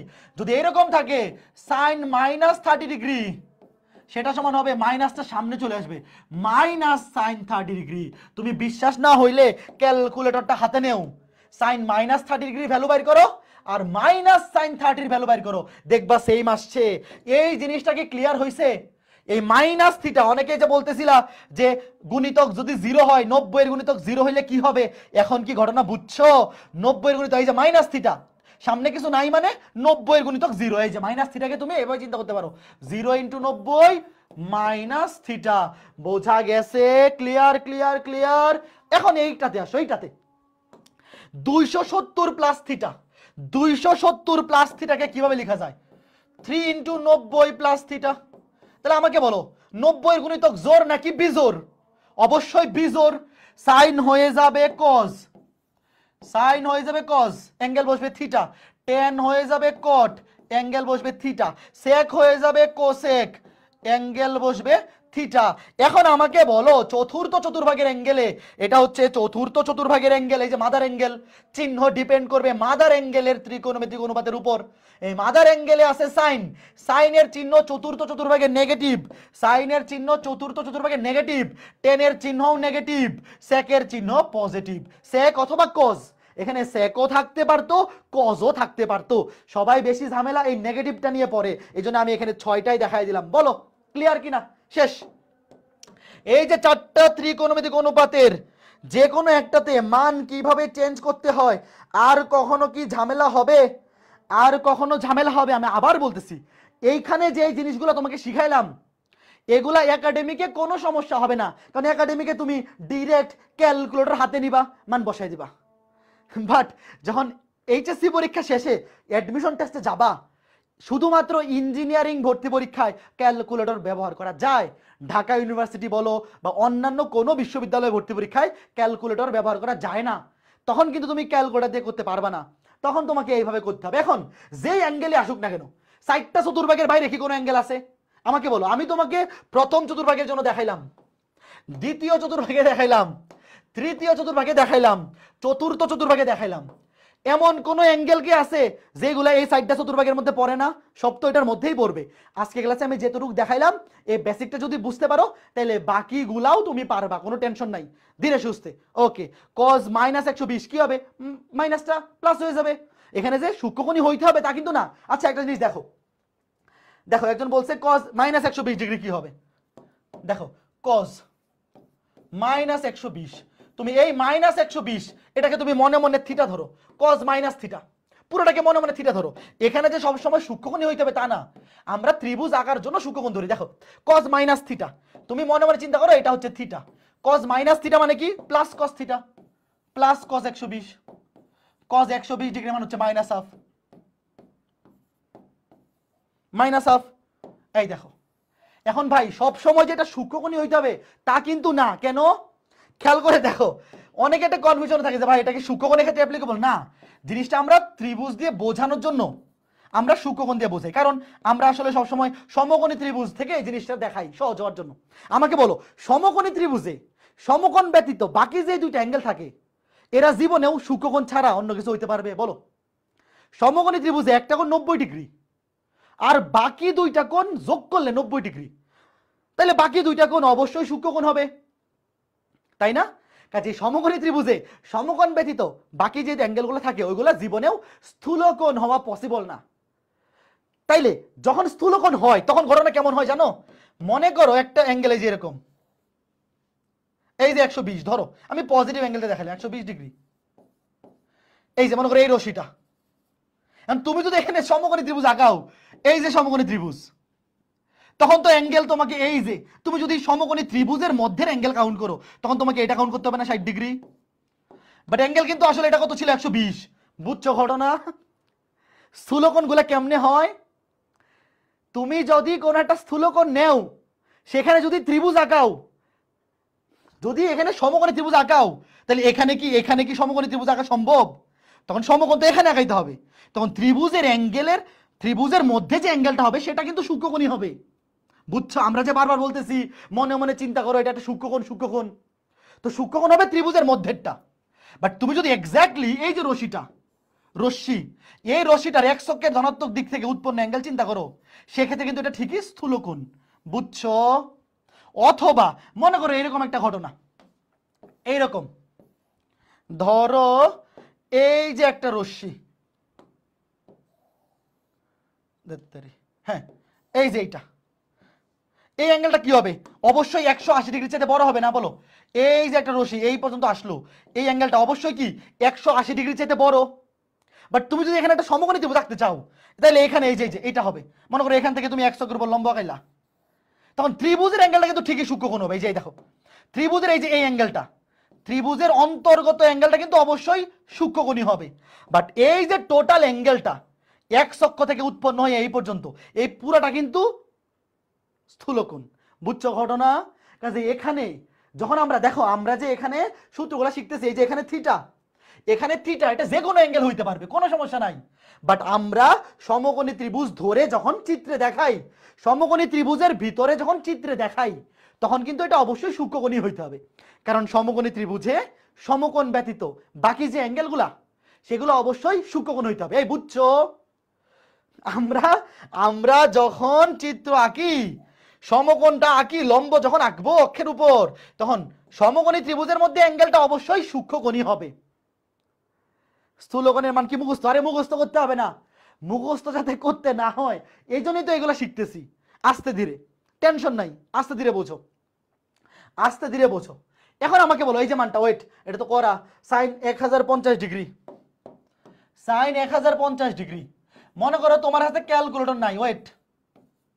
এগুলো নাইন টেনেও ছিল ইন্টারমিডিয়েটেও অ্যাডমিশনে প্রচুর আসে। এই জন্য আমরা দেখাবো, অবশ্যই দেখব। দেখো সাইন এক হাজার পঞ্চাশ ডিগ্রি আমাকে তোমরা বলো, এটাও তো একটা স্থূলকোণ, অবশ্যই। নাকি? একশো নব্বই ডিগ্রির বেশি হইলেই তো স্থূলকোণ বলা যায়। এখানে তো আসলে তিনশো ষাট তিনশো ষাট তিনশো ষাট ঘুরতে আসে ঘুরতে আসে ঘুরতে আসে আসলে আমরা স্থূলকোণ বলতে তো শুধু নব্বই থেকে একশো আশি পর্যন্তই বুঝি। এটা আরও বড়। এখন আমাকে তোমরা বলো, এটা কি মুখস্থ? ধরো তোমার হাতে ক্যালকুলেটর নাই, এটা পরীক্ষায় আসলো। এটার মান কি কারও? মুখস্থ আছে? মুখস্থ নাই। তাহলে এটার মান আমরা কেমনে বের করব? ধীরে সুস্থে। ওয়েট এটার মান আমরা কেমনে বের করব? এটার মান বের করার বুদ্ধি হচ্ছে, এই অ্যাঙ্গেলটাকে আমরা ছোট বানাবো। ওই যে থিটা এর মাধ্যমে প্রকাশ করব। ধীরে সুস্থে। ওয়েট আস্তে ধীরে পৌঁছো তারা ওরার কিছু নাই। এই অ্যাঙ্গেলটাকে আমরা ছোট বানাবো। ছোট বলতে কি আমাদের মুখস্থ আছে কত? বলো। আমাদের ভ্যালু মুখস্থ আছে শূন্য ডিগ্রি থেকে নব্বই ডিগ্রি পর্যন্ত। কথা সত্য? শূন্য, তিরিশ, পঁয়তাল্লিশ, ষাট, নব্বই। এই অ্যাঙ্গেলগুলো আমরা ছোটবেলায় মুখস্থ করে আসছি। এখন আমাকে তোমরা বলো, সাইন এক হাজার পঞ্চাশ ডিগ্রি। একটু মনে মনে চিন্তা করো যে এটার আশেপাশে নব্বই এর গুণিতক কত আছে? এটাকে আমরা এইভাবে প্রকাশ করব নব্বই এর গুণিতক। Two N plus one into নব্বই প্লাস মাইনাস থিটা, অথবা টু এন ইন্টু নব্বই প্লাস মাইনাস থিটা। নব্বই এর বিজোর গুণিতকও হইতে পারে জোর গুণিতকও হইতে পারে, যেটা দিয়ে মিলবে, যে কোনো একটা দিয়ে করলেই হবে। তুমি নব্বই এর বিজোর গুণিতক দিয়েও লিখতে পারো জোর গুণিতক দিয়েও লিখতে পারো। আমাকে কেউ একজন বলো তো, এক হাজার পঞ্চাশের আশেপাশে, এক হাজার পঞ্চাশের আশেপাশে নব্বই এর গুণিতক সংখ্যা আছে কত কত? এক হাজার পঞ্চাশের আশেপাশে, দেখো, এক হাজার পঞ্চাশের আশেপাশে নব্বই এর গুণিতক নব্বই এর গুণিতক আছে কি কি? দুইটা আছে। নয়শো নব্বই আর এক হাজার আশি, কথা সত্য, দেখো। দেখো, এক হাজার পঞ্চাশকে এভাবে লেখা যায়। ওয়েট, আমি আগে লিখি এক হাজার পঞ্চাশকে আমি যদি এভাবে লিখি, তুমি মাইন্ড করবা? এক হাজার আশি মাইনাস তিরিশ, বলো মাইন্ড করবা? এক হাজার পঞ্চাশকে যদি আমি এভাবে লিখি, এক হাজার আশি মাইনাস তিরিশ মাইন্ড করার কিছু নাই। কারণ এক হাজার আশি থেকে তিরিশ ডিগ্রি বিয়োগ করলে এক হাজার পঞ্চাশ হয়। তাহলে আমি এখন এটাকে কেন এভাবে লিখলাম? বলো, আমি এটাকে এভাবে লিখতে পারি না? সাইন, এক হাজার আশি মানে কি? বারো ইন্টু নব্বই মাইনাস থার্টি কথা সত্য কিনা দেখো, এই যে, আমি ইচ্ছা করে এক হাজার পঞ্চাশ ডিগ্রিকে ইচ্ছা করে এভাবে লিখছি, কেন? কারণ এক হাজার আশি ডিগ্রি, এক হাজার আশি ডিগ্রি হচ্ছে নব্বই এর গুণিতক বারো এর গুণিতক। দেখো, এখন আমাকে বলো, এই যে বারো ইন্টু নব্বই মানে কত? এক হাজার আশি। নব্বই এর গুণিতক জোর সংখ্যা হইলে নব্বই এর গুণিতক জোর সংখ্যা হইলে চেঞ্জ হবে নাকি হবে না? নব্বই এর গুণিতক জোর সংখ্যা হলে চেঞ্জ হবে না। সাইন, সাইনই থাকবে। এখানে বসবে থার্টি এখন আমাকে বলো, এটা কোন চতুর্ভাগের অ্যাঙ্গেল এই অ্যাঙ্গেলটা কোন চতুর্ভাগে আছে বলো? ধীরে সুস্থে বোঝো। এই অ্যাঙ্গেলটা কোন চতুর্ভাগে? দেখো, বারো ইন্টু নব্বই মানে কি? দেখো, ষাট ইন্টু নব্বই মানে তিনশো ষাট, এই যে একবার, চারবার। চারবার ঘুরা, নব্বই ইন্টু চার মানে তিনশো ষাট। তিনশো ষাট ডিগ্রি ঘুরা মানে কত? নব্বই ইন্টু চার। নব্বই গুণিতক চার হইলে তিনশো ষাট, একবার ঘুরে আসলাম। নব্বই গুণিতক আট হইলে আরেকবার ঘুরে আসলাম। নব্বই গুণিতক বারো হইলে আরেকবার ঘুরে একশোকে আসলাম। এই দেখো, নব্বই ইন্টু চার, দেখো, ফোর ইন্টু নব্বই মানে কিন্তু তিনশো ষাট। মানে নব্বই এর গুণিতক যদি সাইড হয়, ঘুরে ফিরে আবার একশো খেয়ে আসবা। নব্বই গুণিতক যদি আট হয়, ঘুরে ফিরে আবার একশো খেয়ে আসবা। নব্বই গুণিতক যদি বারো হয় মানে সাইডের গুণিতক হয়, তুমি ঘুরে ঘুরে আবার একশো খেয়ে আসবা। তার মানে বারো ইন্টু নব্বই মানে এক হাজার আশি। এক হাজার আশি মানে তিনবার ঘুরলা, এই যে। ঘুরে আবার একশো কে আসছো? সেখান থেকে তিরিশ ডিগ্রি বিয়োগ, সেখান থেকে তিরিশ ডিগ্রি বিয়োগ। এটা কোন চতুর্ভাগের অ্যাঙ্গেল বলো? এটা যে চতুর্থ চতুর্ভাগের অ্যাঙ্গেল, এটা কি বুঝছ সবাই? যে ভাই, এক হাজার আশি মানে হচ্ছে একবার ঘুরলে তিনশো ষাট, আবার ঘুরলে সাতশো বিশ, আবার ঘুরলে এখানে আসবে এক হাজার আশি, সেখান থেকে তিরিশ ডিগ্রি বিয়োগ। মানে চতুর্থ চতুর্ভাগ, চতুর্থ চতুর্ভাগে সাইনের চিহ্ন নেগেটিভ চতুর্থ চতুর্ভাগে সাইনের চিহ্ন নেগেটিভ আমরা জানি সাইন থ্রি ডিগ্রি মান হাফ মাইনাস হাফ এটা কি বুঝছ? এটা হচ্ছে একটা প্রসেস কারা কারা বুঝছ হাত তুলো? সুন্দর না? ভাই, এটা ক্যালকুলেটর থাকলে, তোমার হাতে যদি ক্যালকুলেটর থাকে এইচএসসি পরীক্ষায় তো ক্যালকুলেটর থাকবে। তুমি ডিরেক্ট চাইবা দিবা, সাইন এক হাজার পঞ্চাশ সাইন এক হাজার পঞ্চাশ দেখবা চলে আসছে মাইনাস হাফ বাট এইচএসসি পরীক্ষার পরে অ্যাডমিশনে কিন্তু এই জিনিসটা ভালো মতো বুঝতে হবে, কারণ অ্যাডমিশনে ক্যালকুলেটর থাকে না। এখন, আমাকে বলো তো, কেউ যদি এই জিনিসটাকে এইভাবে লিখে, কারও এই জিনিসটা পছন্দ হলো না। কেউ লিখলো এইভাবে, যে সাইন এক হাজার পঞ্চাশ, এই এক হাজার পঞ্চাশের আশেপাশে নব্বই এর গুণিতক এটাও হইতে পারে। নয়শো নব্বই প্লাস ষাট, তুমি তাকে আটকাইতে পারবা? কেউ যদি বলে, না, আমি মানি না, এই বিচার। এই যে এখানে আমি যে বিচার করছি, এই বিচার সে মানলো না। কেন? সে বলতেছে, ভাই, এক হাজার পঞ্চাশ ডিগ্রিকে তো এভাবেও লেখা যায়। নয়শো নব্বই প্লাস ষাট লেখা যায় কি যায় না বলো? অবশ্যই যায়। তাহলে নয়শো নব্বই মানে কি? সাইন এগারো ইন্টু নব্বই প্লাস ষাট কথা সত্য। এখন আমাকে বলো নব্বই এর গুণিতক এখানে কত? বিজোর সংখ্যা। নব্বই এর গুণিতক বিজোর হইলে সাইন চেঞ্জ হয়ে কি হবে? কোস এখানে থিটার জায়গায় আছে সিক্সটি এবং এটা কোন চতুর্ভাগের অ্যাঙ্গেল এই পুরো অ্যাঙ্গেলটা তো চতুর্থ চতুর্ভাগেই আছে। চিহ্ন কি? নেগেটিভ দেখো কস সিক্সটির মান হাফ সামনে মাইনাস হাফ বুঝছ? তুমি যেই প্রসেসে আগাও, উত্তর সেমই হবে। যেই প্রসেসে আগাও, উত্তর সেম হবে। এই জিনিসটা সবার ক্লিয়ার কিনা বলো? ভাই, তুমি নব্বই এর গুণিতক জোর আকারে লিখে বাইর করো, অথবা বিজোর আকারে লিখে বাইর করো, উত্তর কিন্তু সেমই আসবে।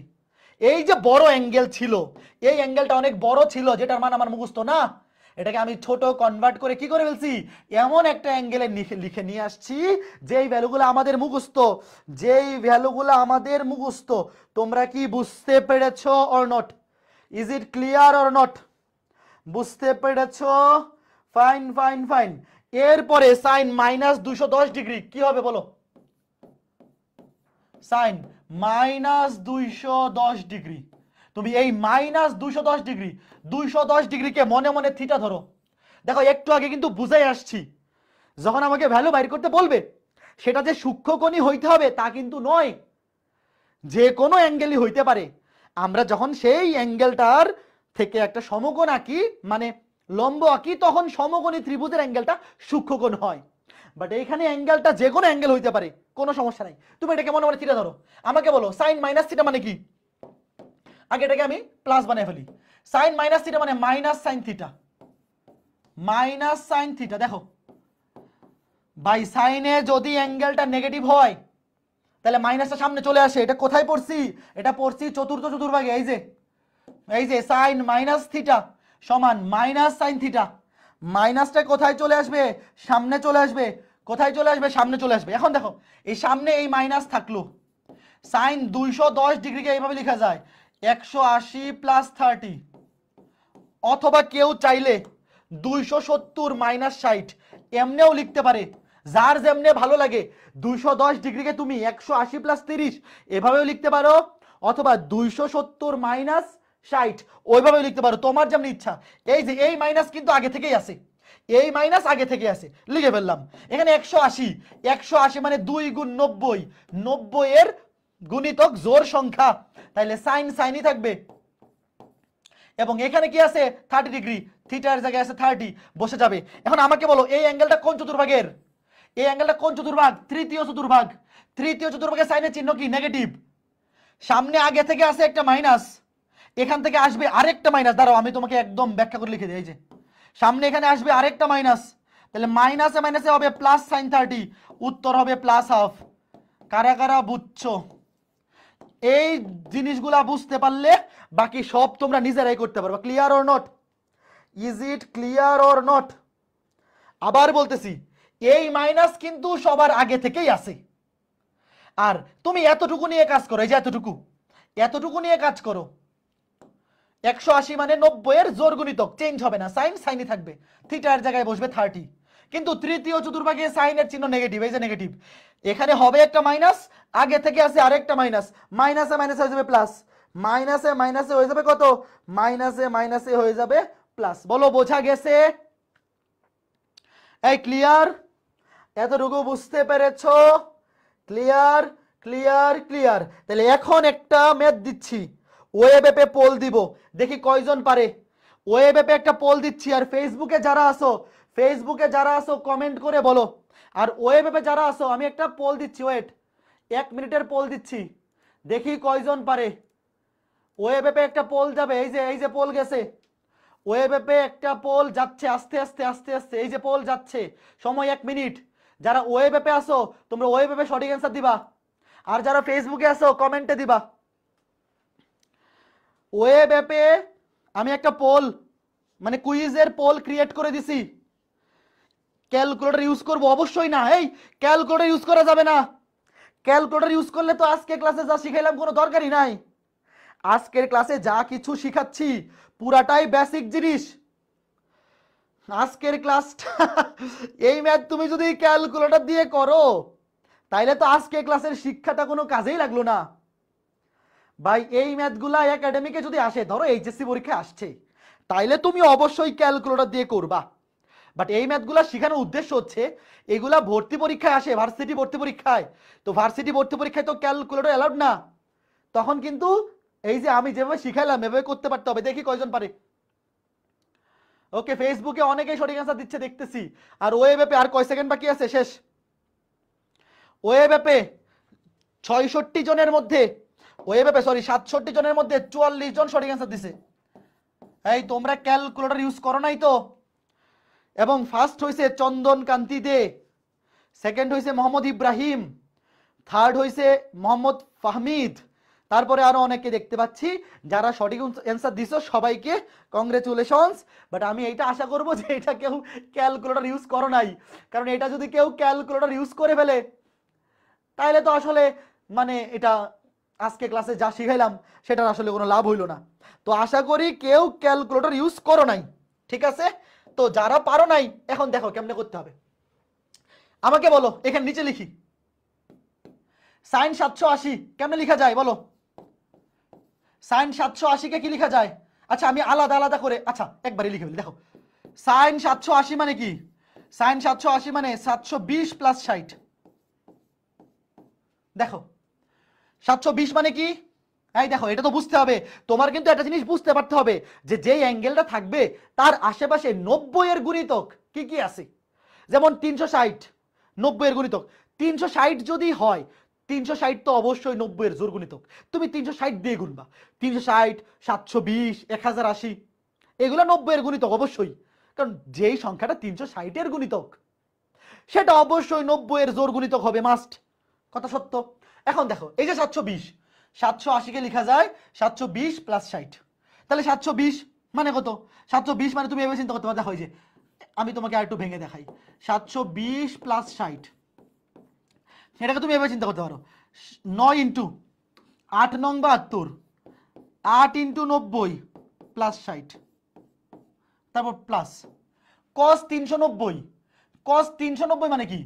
তিনশো নব্বই মানে তিনশো ষাট প্লাস তিরিশ। বাই তিনশো ষাট মানে কত? কস। দেখো, তিনশো ষাট মানে হচ্ছে নব্বইয়ের চার গুণিতক, চার ইন্টু নয়, তিনশো ষাট। চার নব্বই প্লাস তিরিশ। তারপরে এখানে খেয়াল করে দেখো। এই যে মাইনাস সাইন তিনশো তিরিশ, মাইনাস যেমনি আছে থাকুক। মাইনাস সাইন তিনশো তিরিশ, দেখো, তিনশো তিরিশ কেমন লিখে যায় তিনশো ষাট মাইনাস তিরিশ। তিনশো ষাট মানে কত? তিনশো ষাট মানে চার গুণ নব্বই, মাইনাস তিরিশ। তারপরে কজ মাইনাস থিটা কজের ভিতরে মাইনাস থাকলে প্লাস হয়ে যায়। তাহলে এটাকে তুমি শুধু দেখো কজ মাইনাস তিনশো ডিগ্রিকে তুমি সিম্পলি তিনশো ডিগ্রি চিন্তা করতে পারো। তাহলে এটাকে তুমি এভাবে লিখতে পারো কজ তুমি দুইশো সত্তর প্লাস তিরিশ, দুইশো সত্তর প্লাস তিরিশ, এভাবেও লিখতে পারো। অথবা কেউ চাইলে তিনশো ষাট মাইনাস ষাট, ওইভাবে লিখতে পারে। যার যেমনি ভালো লাগে। তোমার যদি ভালো লাগে তুমি এমনি লিখবা, কোনো সমস্যা নেই কজ দুশো সত্তর মানে কত? তিন নং সাতাইশ প্লাস থার্টি তোমার যেমনে ভালো লাগে, ওইভাবে লিখো। তুমি চাইলে তিনশো ষাট থেকে, তিনশো ডিগ্রিকে তিনশো ষাট মাইনাস ষাট লেখা যায়, অথবা দুইশো সত্তর প্লাস তিরিশ লেখা যায়। তোমার যেমনে ভালো লাগে। এখন আমাকে তোমরা বলো, এখানে কি হয়? এই যে দেখো, নব্বইয়ের জোর গুণিতক। তাহলে সাইন সাইনই থাকবে। অ্যাঙ্গেলের জায়গায় আছে থিটা এই দেখো। অ্যাঙ্গেলের জায়গায় আছে সিক্সটি নব্বইয়ের জোর গুণিতক সাইন সাইনই থাকবে। প্লাস অ্যাঙ্গেল আছে সিক্সটি সাইন সিক্সটি এখন আমাকে বলো তো, এটা কোন চতুর্ভাগে আছে? এটা মনে মনে চিন্তা করতে হবে, ভাই। তিনশো ষাট মানে একবার ঘুরে আসা। সাতশো বিশ মানে দুইবার ঘুরে আসা। তার মানে এই যে, তিনশো ষাট মানে একশোকের উপর, সাতশো বিশ মানেও একশোকের উপর। তারপরে আরও ষাট ডিগ্রি। মানে এটা প্রথম চতুর্ভাগের অ্যাঙ্গেল এটা কোন চতুর্ভাগের অ্যাঙ্গেল? এটা কোন চতুর্ভাগের অ্যাঙ্গেল? এটা হচ্ছে এটা তো গুণ চিহ্ন, এটা প্লাস দিলাম কেন? এটা তো গুণ চিহ্ন। দেখো, এই যে এখানে গুণ এখানে গুণ এখানে গুণ। দেখো, এটা কোন চতুর্ভাগের অ্যাঙ্গেল? প্রথম চতুর্ভাগে। এই প্রথম চতুর্ভাগের সাইনের চিহ্ন কি? প্রথম চতুর্ভাগের সাইনের চিহ্ন পজিটিভ সামনে কি প্লাস লেখার দরকার আছে? দরকার নাই। ইনটু দেখো, এটাও কোন চতুর্ভাগের অ্যাঙ্গেল? এই যে এটা, তিনশো ষাট। ষাট ইন্টু নব্বই মানে তিনশো ষাট। তিনশো ষাট মানে ঘুরে আবার একশোকে ফেরত আসা। তারপরে আরও তিরিশ ডিগ্রি মানে প্রথম চতুর্ভাগ। বা এই প্রথম চতুর্ভাগে অবশ্যই চিহ্ন সবারই পজিটিভ সামনে প্লাস তো লেখার দরকার নাই, কারণ যেহেতু দুইটা গুণ আকারে আছে, এবং কস কসই থাকবে কস তিরিশ ডিগ্রি। তারপর মাইনাস আমাকে এইটা বলো, নব্বই এর গুণিতক জোর সংখ্যা মানে সাইন, সাইনই থাকবে। সাইন, সাইনই থাকবে। অ্যাঙ্গেল আছে থার্টি এখন আমাকে বলো, এটা কোন চতুর্ভাগের অ্যাঙ্গেল এই যে অ্যাঙ্গেলটা এই অ্যাঙ্গেলটা কোন চতুর্ভাগের? তিনশো ষাট মাইনাস তিরিশ, তিনশো তিরিশ। চতুর্থ চতুর্ভাগ। চতুর্থ চতুর্ভাগে সাইনের চিহ্ন কি? নেগেটিভ চতুর্থ চতুর্ভাগে সাইনের চিহ্ন কি? নেগেটিভ আচ্ছা এটা কি এইভাবে লেখার দরকার আছে? মাইনাসে মাইনাসে একবারে প্লাস দিয়ে দেই। সামনে আছে মাইনাস সামনে আছে মাইনাস আর এই যে চতুর্থ চতুর্ভাগে সাইনের চিহ্ন হবে নেগেটিভ তাহলে মাইনাসে মাইনাসে একসাথে প্লাস দিয়ে দেই, বুঝছ তো? ওকে ফাইন এখন এটা দেখো। এটা কোন চতুর্ভাগ? এটাও তো ভাইয়া কোন চতুর্ভাগ? চতুর্থ চতুর্ভাগই। তিনশো ডিগ্রি, অবশ্যই চতুর্থ চতুর্ভাগ। দুইশো সত্তর থেকে বড়, তিনশো ষাট থেকে ছোট। এই মাইনাসটা তো প্লাস হয়ে যাবে। কজের ভিতরে মাইনাস থাকলে সেটা প্লাস হয়ে যায়। আর এখানে নব্বই গুণিতক কি? নব্বই গুণিতক হচ্ছে বিজোর তাহলে যেহেতু নব্বই গুণিতক বিজোর সংখ্যা তাইলে কজ হয়ে যাবে সাইন অ্যাঙ্গেল হচ্ছে থার্টি দেখো নব্বই এর গুণিতক বিজোর সংখ্যা হইলে কজ হয়ে যাবে সাইন এবং যেহেতু এটা চতুর্থ চতুর্ভাগের অ্যাঙ্গেল চতুর্থ চতুর্ভাগে কজের চিহ্ন পজিটিভ তো সামনে প্লাস তো আর দেওয়ার দরকার নাই, যেহেতু গুণাকারে আছে। এখন মান বসায় দাও, দেখো। সাইন সিক্সটির মান root three by two cos থার্টির মান root three by two plus এটা তো আমাদের মুখস্থ। সাইন থার্টির মান হাফ ইন্টু সাইন থার্টির মান হাফ কত আসে বলো? এখানে three by two root three root three গুণ করলে three by two root three root three গুণ করলে থ্রি বাই টু আর এখানে ওয়ান বাই ফোর বলো, কত আসে? ওকে ওকে এই সরি এটা তো থ্রি বাই ফোর দু দুগুণে চার। যোগ করলে কত আসে বলো? নিচে চার, উপরে তিন, আর একে চার চার বাই চার, উত্তর এক। এই বুঝছ নাকি বলো? বুঝছ বেসিক জিনিসটা বোঝা গেছে। বেসিক জিনিসটা বোঝা গেছে এখন। এই ম্যাথগুলা কম সময়ে পারার জন্য কি বুদ্ধি করতে হবে? দেখো, এই ম্যাথগুলা কম সময়ে পারার জন্য কি করা উচিত? খেয়াল করে দেখো। ভাই, যেইটা কিনা যেইটা কিনা তিনশো ষাটের গুণিতক। দেখো, তিনশো ষাট কিংবা সাতশো বিশ। এরা অবশ্যই নব্বই এর জোর গুণিতক, কি হবে? এরা অবশ্যই কি? নব্বই এর জোর গুণিতক। কারণ তিনশো ষাট, দেখো, তিনশো ষাট মানে হচ্ছে চার গুণ নয়, নব্বই। সাতশো বিশ মানে আট গুণ নব্বই। তুমি মনে মনে এভাবে চিন্তা করবা যে তিনশো ষাট, সাতশো বিশ, এক হাজার আশি, এরা হচ্ছে তিনশো ষাটের গুণিতক। আর তিনশো ষাটের যারা গুণিতক, তারা অবশ্যই নব্বই এর জোর গুণিতক। কাজে এইটা তো তোমার এভাবে চিন্তা করার দরকারই নাই। তুমি মনে মনে এভাবে চিন্তা করে বলবা এখানে সাতশো বিশ আছে, তাহলে অবশ্যই নব্বই এর জোর গুণিতক। তাইলে সাইন, সাইনই থাকবে। সাইন, সাইনই থাকবে, এখানে বসবে সিক্সটি এবং এটা প্রথম চতুর্ভাগের অ্যাঙ্গেল এই জন্য পজিটিভ সামনে প্লাস চিহ্ন তো দেওয়া লাগে না। ঠিক একইভাবে, এই যে তিনশো ষাট প্লাস থার্টি এটাও নব্বই এর জোর গুণিতক। তাহলে সিম্পলি এটা হবে কস থার্টি এটাও নব্বই এর জোর গুণিতক। আর এইটাকে তুমি যদি বিজোর গুণিতক আকারে লিখো, তাইলে হয়ে যাবে কজ হয়ে যাবে সাইন অথবা কেউ যদি এটাকে এভাবে লিখে কজ তিনশো ডিগ্রি মানে কি? তিনশো ষাট মাইনাস ষাট, তিনশো ষাট মাইনাস ষাট। সেই ক্ষেত্রে খেয়াল করতে হয় যে, এইভাবে যদি কেউ লিখে, তাইলে তিনশো ষাট কি হবে? নব্বই এর জোর গুণিতক। সেই ক্ষেত্রে কজ কজই থাকবে। সেই ক্ষেত্রে কজ কজই থাকবে কজ ষাট।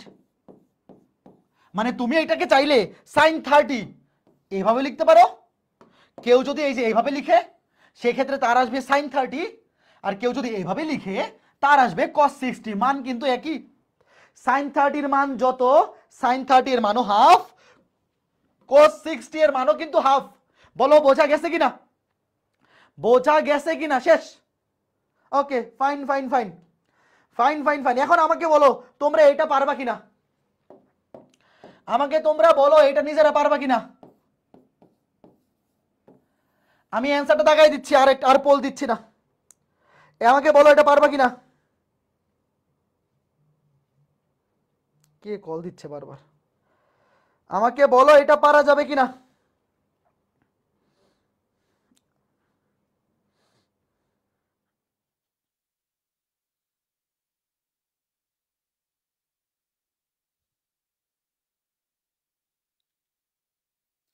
ওকে এটা অ্যান্সার কত? বলো। অ্যান্সার বাইর করে নাই, আমিও বাইর করে অ্যান্সারটা বলে দিই। তোমরা নর্মালি করো। কস চারশো বিশ নর্মালি করো। আমি অ্যান্সার বের করে বলে দিচ্ছি। কস তিনশো নব্বই কস তিনশো নব্বই। তোমরা নর্মাল নিয়মে করো। আমি ক্যালকুলেটারতে বাইর করে বলে দিই মাইনাস তিনশো ইন্টু সাইন মাইনাস তিনশো তিরিশ root three by two answer গো। তোমরা ক্যালকুলেটার ছাড়া করো। ক্যালকুলেটার ছাড়া করে বলো অ্যান্সার মিলাইতে পারো কিনা? ক্যালকুলেটর ছাড়া করে অ্যান্সার মিলাইতে পারো কিনা বলো? তোমরা কেউ ক্যালকুলেটর ইউজ করো না। ক্যালকুলেটর ইউজ না করে বলো কত আসে।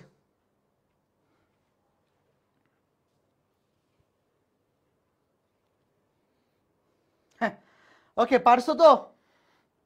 পারছ? আসলেই পারছ? Okay, fine fine fine. এখন আসো, চমৎকার একটা জিনিস শিখব। সেটা কি? সবাই প্রশ্নটা তোলো। সাইন থিটা সমান থ্রি বাই ফোর হলে সাইন থিটা সমান থ্রি বাই ফোর হলে tan theta plus cos theta equals to what tan theta plus cos theta equals to what প্রশ্নটা তোলো। তোমরা আমাকে বলো, এখানে অ্যাঙ্গেলটা কোন চতুর্ভাগে আছে? কিছু বলা আছে? আমার সাথে এই জিনিসটা আগে খেয়াল করো। সাইন থিটার মান দেয়া আছে থ্রি বাই ফোর এটা পজিটিভ নাকি নেগেটিভ এই থ্রি বাই ফোর কি সংখ্যা? পজিটিভ সংখ্যা। আচ্ছা সাইনের মান পজিটিভ তো প্রথম চতুর্ভাগে হইতে পারে, দ্বিতীয় চতুর্ভাগে হইতে পারে। এখানে কি কিছু বলা আছে, কোন চতুর্ভাগ? বলো। সাইন থিটার মান থ্রি বাই ফোর, এটা একটা পজিটিভ ভ্যালু। বাই সাইনের ভ্যালু পজিটিভ, প্রথম চতুর্ভাগেও হইতে পারে, দ্বিতীয় চতুর্ভাগেও হইতে পারে। হইতে পারে না? এখানে কি কিছু বলা আছে, বলা নাই। যদি বলা না থাকে, আমরা সব প্রথম চতুর্ভাগে ধরে নিব, বুঝছ? মনে করো কিছু বলা নাই। কোনো কিছু বলা না থাকলে আমরা কি করে ফেলব? প্রথম চতুর্ভাগ ধরে ফেলব, যে এখানে চিহ্নের কোনো ঝামেলা নাই। প্রশ্নে যদি চতুর্ভাগ উল্লেখ করা না থাকে, তাইলে আমরা সেটা প্রথম চতুর্ভাগ ধরেই করে ফেলব। আমরা চিহ্নের ঝামেলা নিব না, কারণ তারাও কিছু বলে দেয় নাই। আর কিছু বলে দেয় নাই মানে আমরা এমন চতুর্ভাগটাই ধরবো, যেখানে চিহ্নের কোনো ঝামেলা নাই। চিহ্নের ঝামেলা নাই কোন চতুর্ভাগে? চিহ্নের চতুর্ভাগ নাই কোন চতুর্ভাগে? চিহ্নের ঝামেলা নাই প্রথম চতুর্ভাগে। প্রথম চতুর্ভাগে। তাহলে এখন আমরা প্রথম চতুর্ভাগ মনে মনে ধরে ফেলব যে ভাই, প্রথম চতুর্ভাগে তো সবাই পজিটিভ প্রথম চতুর্ভাগে সবাই পজিটিভ এখন আমাকে বলো, মনে মনে তুমি একটা সমকোণী ত্রিভুজ আঁকাও। মনে করো এই থিটা হচ্ছে এই অ্যাঙ্গেলটা যে কোনো একটা অ্যাঙ্গেল সমকোণ ব্যতীত। তুমি একটা সমকোণে ত্রিভুজ আঁকাবা, এই যে এটা হচ্ছে সমকোণ। সমকোণ ব্যতীত বাকি একটা অ্যাঙ্গেল ধরো থিটা তোমরা কি জানো সাইন থিটা মানে কি? সাইন থিটা মানে সাগরে লবণ অতি মনে আছে লম্ব বায়ু কার কার মনে আছে বলো? লম্ব বায়ু এই যে থ্রি থ্রি হবে লম্ব ফোর হবে অতিভুজ, দেখো। আমি ধরলাম একটা সমকোণী ত্রিভুজের যে কোনো একটা অ্যাঙ্গেল এই থিটা সমকোণ ব্য- ব্যতীত, সমকোণ ব্যতীত। দেখো, সাগরে লবণ অতি, তিন হচ্ছে লম্ব, চার হচ্ছে অতিভুজ। তাইলে পিতাগোরাস সাহেবকে কল দেও। পিতাগোরাস সাহেবকে কল দিয়ে আমাকে বলো, এটার ভূমি কত হবে। এই অ্যাঙ্গেলের রেসপেক্টে এটা হচ্ছে লম্ব। এটা হচ্ছে অতিভুজ। সাগরে লবণ অতি লম্ব বায় অতিভুজ আর এটা হচ্ছে ভূমি। পিতাগোরাস সাহেবকে কল দিয়ে বলো, ভূমি কত? এই, তোমরা কি এই সূত্রটা জানো? যে অতিভুজ স্কয়ার সমান ভূমি স্কয়ার। এই সূত্র জানো না, এমন কোন পবিত্র পাপি আসো ভূমি স্কয়ার প্লাস লম্ব স্কয়ার বলো। এই সূত্র জানো না, এমন কোন পবিত্র পাপি আসো আমি ধরলাম ভূমি এক্স ধরলাম ভূমি এক্স মনে মনে। তাইলে অতিভুজ স্কোয়ার, ফোর স্কোয়ার সমান ভূমি স্কোয়ার প্লাস লম্ব স্কোয়ার। তাহলে এক্স স্কোয়ার সমান ষোলো মাইনাস নয়, সরি, ষোলো হ্যাঁ ষোলো মাইনাস নয় মানে সাত। তাহলে x equals to root seven এইটা কি মনে মনে পারা উচিত না বলো? যারা নাইন টেনে পিতাগোরাসের সূত্র পড়ে আসছো, এই জিনিসটা মনে মনে করতে পারা উচিত না যে ভূমি মানে রুট ওভার অফ অতিভুজ করে যে এইটা। এই যে দেখো এক্স স্কয়ার সমান এক্স স্কয়ার সমান four square minus three square তাহলে x equals to root over of four square minus three square এই যে রুট ওভার অফ অতিভুজ স্কয়ার মাইনাস লম্ব স্কয়ার তাহলে ষোলো মাইনাস নয় রুট ওভার অফ সেভেন এই জিনিসটা মনে মনে এখন বড় হইছো না? এই জিনিসটা এখন মনে মনে করতে পারা উচিত। এই জিনিসটা এখন মনে মনে করতে পারা উচিত। ওকে ফাইন এই জিনিসটা কিন্তু খাতায় লেখার দরকার নেই, মনে মনে। কেমনে করবা? যে ভূমি মানে রুট ওভার অফ অতিভুজ স্কোয়ার রুট ওভার অফ এটাকে স্কয়ার করলে ষোলো মাইনাস লম্ব স্কোয়ার এটাকে স্কয়ার করলে নয়। রুট ওভার অফ আমি এইভাবে লিখে দিই, যে পরীক্ষা হলে ডিরেক্ট এইভাবে, এটা মনে মনে করে ফেলবা। যে রুট ওভার অফ ষোলো মাইনাস নয় মানে রুট ওভার অফ সেভেন এটা হচ্ছে ভূমি। তাহলে এখন আমাকে বলো, এখানে টেন থিটার মান কত হবে? এই যে টেন থিটা আমি নিচে নিচে লিখে ফেলছি টেন থিটার সমান কি হবে বলো? টেরা লম্বা ভূত, মনে আছে? টেরা লম্বা ভূত, লম্ব হচ্ছে তিন, ভূমি হচ্ছে root seven three by root seven দেখো, এখানে চিহ্নের কোনো ঝামেলা নাই। আমরা সব প্রথম চতুর্ভাগ ধরে চিহ্ন সব পজিটিভ বসে দিচ্ছি। কস্থিটা কবরে ভূমি অতি, ভূমি বাই অতিভুজ। এই যে এটা হচ্ছে ভূমি, এটা অতিভুজ। সমকোণের অপোজিট বাহুটাকে বলে অতিভুজ। যে অ্যাঙ্গেলটা নিচ্ছি, তার রেসপেক্টে বিপরীত বাহু হচ্ছে লম্ব আর সংলগ্ন বাহু হচ্ছে ভূমি। কবরে ভূমি অতি রুট সেভেন বাই ফোর এখন যোগ করে দাও। যোগ করে যা আসে তা। ফোর রুট সেভেন এনে তিন চারে বারো প্লাস এনে ফোর কাটা root seven root seven seven শেষ। একুশ বাই ফোর রুট সেভেন এমনি রেখে দাও অথবা ভ্যালু তুমি দশমিকে নেও, যেমনি নেও, খুশি নেও, অসুবিধা নেই।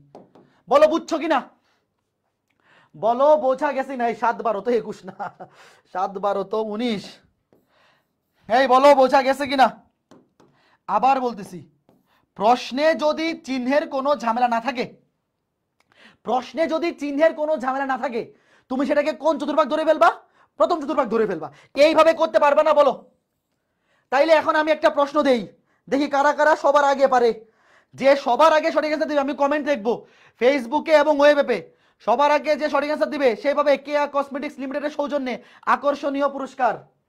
হ্যাঁ বলো টেন থিটা সমান থ্রি বাই ফোর হলে টেন থিটা সমান থ্রি বাই ফোর হলে sine theta plus cos theta equals to what দেখি, সবার আগে কে সঠিক অ্যান্সার দেয় sine theta plus cos theta equals to what দেখি দেখি দেখি, সবার আগে কে সঠিক অ্যান্সার দেয় কে সঠিক অ্যান্সার দেয়? দেখি, এই, আই সর্বনাশ, তাকাইতে তাকাইতে সবাই সঠিক অ্যান্সার দিয়ে দিছে। ঘটনা কি?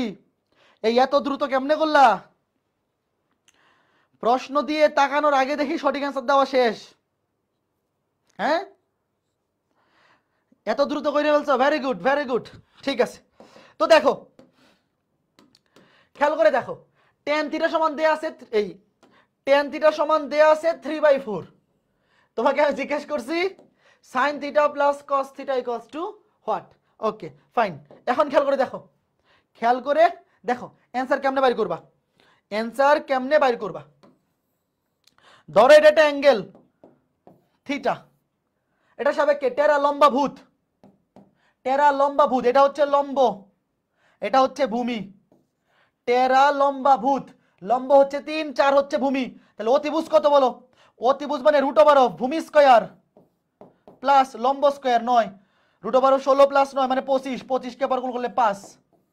দেখো, অতিভুজ মানে অতিভুজ মানে রুট ওভার অফ ভূমি স্কোয়ার। চার কে স্কয়ার করলে ষোলো। পিতাগোরাস সাহেবকে কল দিবা। থ্রি কে স্কয়ার করলে নয়, ষোলো আর নয় পঁচিশ। পঁচিশকে বর্গমূল করলে হয় পাঁচ। ফাইন তাহলে আমাকে বলো সাইন থিটার মান কত? এই দেখো সাইন থিটা সাগরে লবণতি সাগরে লবণতি তিন বাই পাঁচ। প্লাস কবরে ভূমিয়তি কবরে ভূমিয়তি ভূমি চার বাই পাঁচ। তাহলে উত্তর হচ্ছে পাঁচ, উপরে সাত চারের তিনে সাত, নিচে পাঁচ। এখন যারা মনে মনে করছে, ওরা কেমনে করছে জানো? আমি ফিরে তাকানোর আগেই যারা সঠিক অ্যান্সার দিয়ে দিছে, তারা কেমনে করছে জানো? মনে মনে করে ফেলছে। কেমনে? লম্ব যদি তিন হয় আর ভূমি যদি সাইড হয়, তাহলে অতিভুজ পাঁচ এটা সবাই জানে।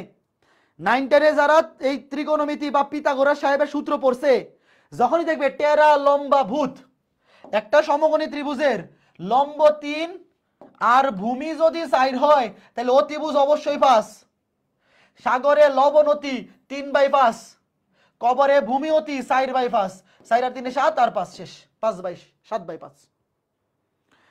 যারা ত্রিকোণমিতি নাইন টেনে ভালো মতো পড়ছে বা পিতাগোরাসের সূত্রটা জানে, তারা এটা চিত্র আঁকবে না এমসিকিউতে আসলে আঁকাবে না। এটা ডিরেক্ট মনে মনে মনে মনে, টেরা লম্বা ভূত। তাহলে অতিভূত হচ্ছে পাঁচ। সাইন হচ্ছে সাগরে লবণ অতি, তিন বাই পাঁচ। কবরে ভূমি অতি, চার বাই পাঁচ। তিন বাই পাঁচ আর চার বাই পাঁচ যোগ করলে সাত বাই পাঁচ। শেষ। বলো, এই জিনিসটা কি ক্লিয়ার হয়েছে এই জিনিসটা কি ক্লিয়ার হয়েছে ওকে ফাইন ফাইন ফাইন এখন আরেকটা প্রশ্ন দিব। দেখব এটা কে কে পারে সবার আগে। সবার আগে কে কে পারে? কট থিটা সমান three by four cot theta সমান থ্রি বাই ফোর এবং কস থিটা ঋণাত্মক হলে কস থিটা ঋণাত্মক হলে sine theta equals to what আগে তোমরা আমাকে এই জিনিসটা বলো। এইটা কি প্রথম চতুর্ভাগ ধরে করা যাবে? আগের যেই দুইটা ম্যাথ ছিল, সেখানে চতুর্ভাগ উল্লেখ করা ছিল না। আমাকে বলো, আগে যে দুইটা ম্যাথ ছিল, এখানে চতুর্ভাগ কিংবা চিহ্ন নিয়ে কোনো ঝামেলা ছিল না? আমি সবগুলাকে প্রথম চতুর্ভাগ ধরে পজিটিভ চিহ্ন বসাই দিছি। এটার মানও পজিটিভ ধরছি, এটার মানও পজিটিভ ধরছি। এখানেও চিহ্ন নিয়ে কোনো ঝামেলা ছিল না। বাট এই যে প্রশ্নটা, এই যে প্রশ্নটা, একটু খেয়াল করে দেখো। তোমাকে বলছে কট থিটার মান থ্রি বাই ফোর এবং কস থিটা ঋণাত্মক। আমাকে বলো, এটা কি প্রথম চতুর্ভাগে পসিবল প্রথম চতুর্ভাগে তো কস থিটা ঋণাত্মক হইতে পারে না। তাহলে আগে আমাকে তোমরা বলো, এটা কোন চতুর্ভাগ? ভাই cot theta positive cot theta প্রথম চতুর্ভাগেও পজিটিভ দেখো, প্রথম চতুর্ভাগে সবাই পজিটিভ আর কট থিটা তৃতীয় চতুর্ভাগেও পজিটিভ খেয়াল করে দেখো। প্রথম চতুর্ভাগেও কট থিটা পজিটিভ তৃতীয় চতুর্ভাগেও পজিটিভ বাট প্রথম চতুর্ভাগে কিন্তু কস থিটা ঋণাত্মক নয়। তাহলে এটা প্রথম চতুর্ভাগ হবে না। বাকি রইল কে? বাকি রইল তৃতীয় চতুর্ভাগ। তার মানে এই অ্যাঙ্গেলটা কোন চতুর্ভাগে আছে?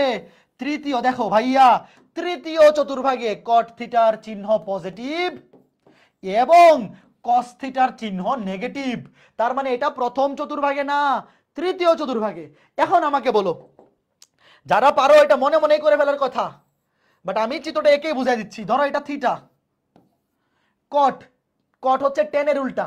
টেন হচ্ছে টেরা লম্বা ভূত। লম্ব বাই ভূমি। আর কট হচ্ছে উল্টা। ভূমি বাই লম্ব। তাহলে তিন হচ্ছে ভূমি সাইর হচ্ছে লম্ব। দেখো এটা টেনের উল্টা। টেন হচ্ছে লম্ব বাই ভূমি, আর কট হচ্ছে ভূমি বাই লম্ব। তিন হচ্ছে ভূমি সাইর হচ্ছে লম্ব। আর পিতাগোরা সাহেবকে কল দিলে অতিভুজ আসবে পাস তাইলে খেয়াল করে দেখো, সাইন থিটা সমান কি হবে? সাইন থিটা সমান হবে। এখানে কিন্তু চতুর্ভাগ কাউন্ট করতে হবে। সাগরে লবনতি সাগরে লবনতি লম্ব হচ্ছে চার অতিভুজ পাঁচ। এখন আমাকে বলো, তৃতীয় চতুর্ভাগে সাইনের চিহ্ন কি?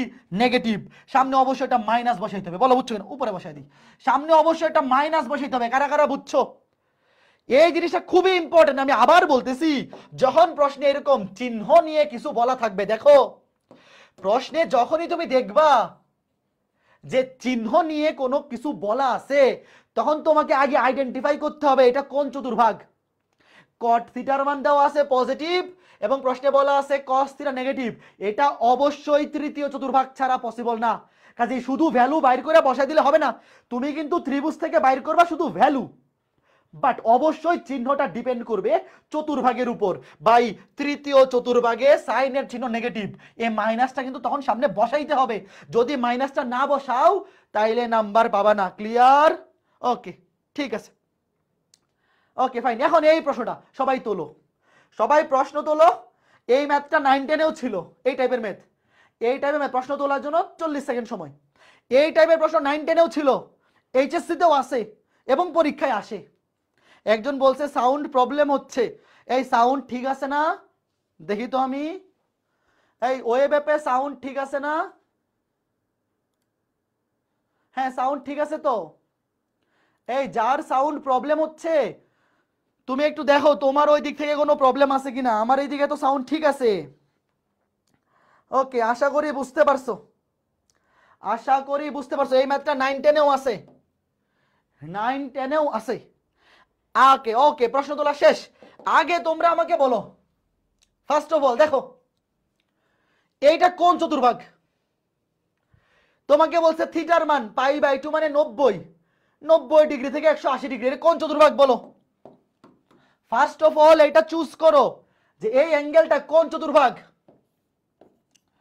দ্বিতীয় চতুর্ভাগ। দেখো, দ্বিতীয় চতুর্ভাগে কিন্তু সাইনের চিহ্ন পজিটিভ ভাই। সাইনের চিহ্ন পজিটিভ কিন্তু প্রথম চতুর্ভাগে হইতে পারে, দ্বিতীয় চতুর্ভাগেও হইতে পারে। বাট এখানে কোন চতুর্ভাগ হবে? অবশ্যই দ্বিতীয় চতুর্ভাগ হবে। কারণ প্রশ্নে বলাই আছে যে অ্যাঙ্গেলটার মান নব্বই থেকে একশো আশির মধ্যে। তাহলে আমাকে আগে বলো। আগে আমাকে বলো। এই যে এখানে মনটা, মানটা চাইছে। আগে আমাকে এটা বলো ওয়েট আগে আমি এখানে চিহ্নগুলো ঠিক করি। টেন থিটা এই সেক মাইনাস থিটা মানে কি? সেক মাইনাস থিটা মানে প্লাস সেক থিটা না? মনে আছে সেক এবং কস চতুর্থ চতুর্ভাগে সেক এবং কস পজিটিভ এই জন্য সেক মাইনাস থিটা কি হয়ে যাবে? প্লাস হয়ে যাবে। আর নিচে দেখো cot theta cosec minus theta cosec minus theta কিন্তু মাইনাসটা সামনে চলে আসবে। প্লাসে মাইনাসে মাইনাস হয়ে যাবে। আগে বলো এটা বুঝছ কিনা? এই ম্যাথগুলা খুবই সতর্কতার সাথে করতে হবে। সেক এবং কোস এই দুটার বেলায় মাইনাস থাকলে মাইনাস ভ্যানিশ হয়ে যাবে। আর বাকিগুলোর ক্ষেত্রে মাইনাস থাকলে মাইনাসটা সামনে চলে আসবে। এখন চলো আমরা এই যে ত্রিভুজটা একে মানগুলো বাইর করে ফেলি। দেখো, এই যে সাগরে লবণতি ধরলাম, এটা থিটা এটা থিটা ধরলাম। সাগরে লবণতি পাঁচ হচ্ছে লম্ব। তেরো হচ্ছে অতিভুজ। পিতাগোরা সাহেবকে কল দেও। পিতাগোরা সাহেবকে কল দিয়ে বলো, ভূমি কত? রুট ওভার অফ তেরো স্কোয়ার মাইনাস ফাইভ স্কোয়ার একশো উনসত্তর থেকে পঁচিশ গেলে একশো চুয়াল্লিশ। একশো চুয়াল্লিশকে রুট করলে বারো। এটা মনে মনে পারবা না? পিতাগোরাস সাহেবকে কল দিবা। পিতাগোরাস সাহেব কল রিসিভ করে বলবে ভূমি কত বারো, দেখো, সাগরে লবণ অতি, পাঁচ হচ্ছে লম্ব, তেরো হচ্ছে অতিভুজ। এই অ্যাঙ্গেলের রেসপেক্টে এটা হচ্ছে লম্ব, এটা অতিভুজ। সমকোণের বিপরীত বাহু, কিংবা সবচেয়ে লম্বা বাহুটা হচ্ছে অতিভুজ, আর ভূমি হবে বারো। তাহলে এখন আমাকে এখান থেকে বলো টেন থিটার মান কত? টেরা লম্বা ভূত টেরা লম্বা ভূত, পাঁচ বাই বারো। এখন আমাকে বলা হয় দেখো, টেরা। টেন থিটা সমান, এই যে আমার টেন থিটার দরকার। লম্বা ভূত, লম্ব বাই ভূমি, পাঁচ বাই বারো। এখন আমাকে বলো, দ্বিতীয় চতুর্ভাগে টেনের চিহ্ন কি? দ্বিতীয় চতুর্ভাগে, এই যে দ্বিতীয় চতুর্ভাগ, ভালো মতো বুঝছ? অনেকে কিন্তু চিহ্ন বসাইতে ভুল করে। দ্বিতীয় চতুর্ভাগে টেনের চিহ্ন নেগেটিভ দ্বিতীয় চতুর্ভাগে টেনের চিহ্ন কি? নেগেটিভ সামনে মাইনাস দিতে হবে, ভালো মতো বুঝছ, এগুলো ভুল করা যাবে না। তাইলে টেন থিটা যদি টেন থিটা যদি মাইনাস পাঁচ বাই বারো হয় কট থিটা কি হবে বলো? বাই টেন কে উল্টা দিলেই তো কট হয়। তাহলে কি হয়ে যাবে? মাইনাস বারো বাই পাঁচ উল্টে যাবে, এই বুঝতেছো? বাই টেন থিটাকে উল্টায় দিলেই কট হয়ে যাবে। তাহলে মাইনাস পাঁচ বাই বারো হয়ে যাবে মাইনাস বারো বাই পাঁচ। তাহলে টেন এবং কট শেষ। এরপরে দেখো সেক এরপরে সেক এখানে লিখি। সেক থিটা এই সেক মানে কি? কজের উল্টা। এই মনে আছে? সেক হচ্ছে কজের উল্টা। কজ মানে হচ্ছে কবরে ভূমি অতি। কজ মানে ভূমি বাই অতিভুজ। আর সেক মানে হবে অতিভুজ বাই ভূমি, কজের উল্টা। তাহলে তেরো বাই বারো। তেরো বাই বারো। কবরে, কজে হচ্ছে ভূমি বাই অতিভুজ। সেক যেহেতু কজের উল্টা, তাহলে অতিভুজ বাই ভূমি। ভূমি অতি, এন অতিভুজ বাই ভূমি। তেরো বাই বারো। এখন আমাকে বলো, দ্বিতীয় চতুর্ভাগে সেকের চিহ্ন কি? দ্বিতীয় চতুর্ভাগে সেকের চিহ্ন কি? নেগেটিভ। এই যে নেগেটিভ। বাকি আছে কসেক। বাকি আছে কোসেক। কোসেক মানে কি? কোসেক তো বাইর করা লাগে না ভাই। কোসেক তো সাইনের উল্টা। কোসেক হচ্ছে সাইনের উল্টা। আর দ্বিতীয় চতুর্ভাগে সাইনও পজিটিভ কোসেকও পজিটিভ পাঁচ বাই তেরো হয়ে যাবে, তেরো বাই পাঁচ, শেষ। বসায় দাও। এখন মানগুলা বসায় বলো, কত আসে? দেখো, আমি আবার বলতেছি। ভাই, এটা কোন চতুর্ভাগ? দ্বিতীয় চতুর্ভাগ। দ্বিতীয় চতুর্ভাগে কোসেকের চিহ্ন পজিটিভ শুধু সাইনটা উল্টে যাবে। সাইনের উল্টা হচ্ছে কোসেক। পাঁচ বাই তেরো হয়ে যাবে, তেরো বাই পাঁচ। তার বাকি সবগুলো নেগেটিভ দেখো, দ্বিতীয় চতুর্ভাগে টেনের চিহ্ন নেগেটিভ কটের চিহ্ন নেগেটিভ সেকের চিহ্ন নেগেটিভ এর মানগুলো বসাও। মানগুলো বসে বলো কোনটা মিলছে? টেন থিটা মান হচ্ছে মাইনাস পাঁচ বাই বারো। Plus sec theta sec theta মান হচ্ছে মাইনাস তেরো বাই বারো। প্লাস মাইনাস মাইনাস হয়ে যাবে। অথবা আচ্ছা এখানে প্লাস বসাই মাইনাসটা এখানে দেখাই, তোমাকে বোঝানোর জন্য। যদিও এখানে মাইনাস আসলে বসানোর দরকার নাই প্লাসে মাইনাসে একবারেই মাইনাস বসাই দিবা। আমি তোমাকে বোঝানোর জন্য এভাবে লিখতেছি। কট থিটার মান। কিরে ভাই, কে কল দেয়? আচ্ছা কেটে দিচ্ছি। দেখো কট থিটার মান কত? একটু ওয়েট তুলি তুলি।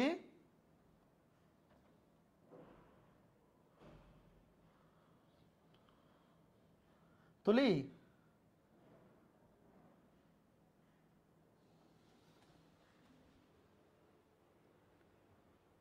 আচ্ছা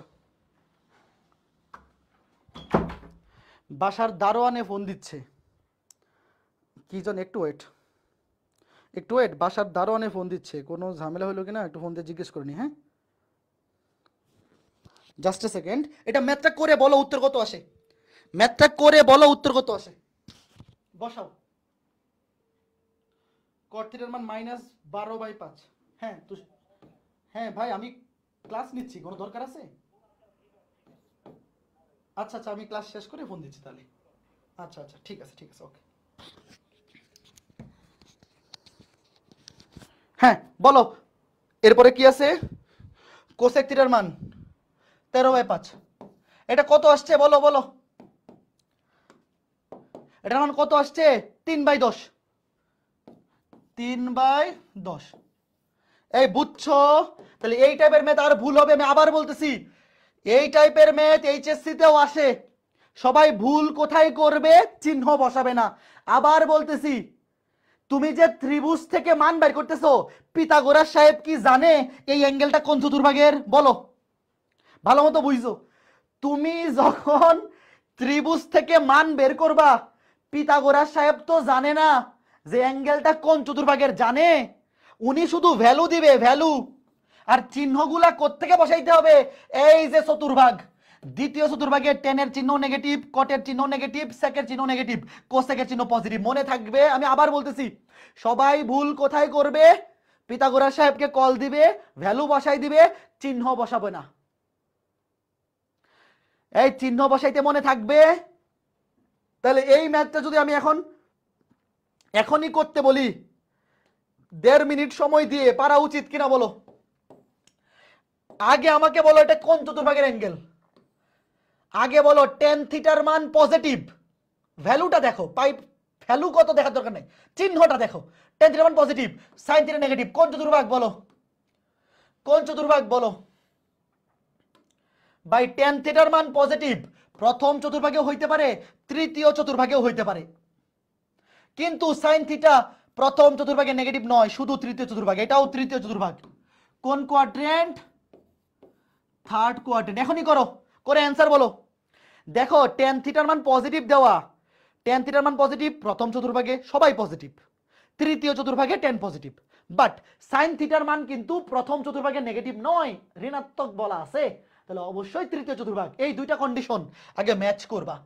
এই দুইটা কন্ডিশন ম্যাচ করে দেখো। ম্যাচ করে দেখো। কি দেখো? এটা তৃতীয় চতুর্ভাগ। এটা ভ্যালুটা বাইর করো। এখনই বাইর করো।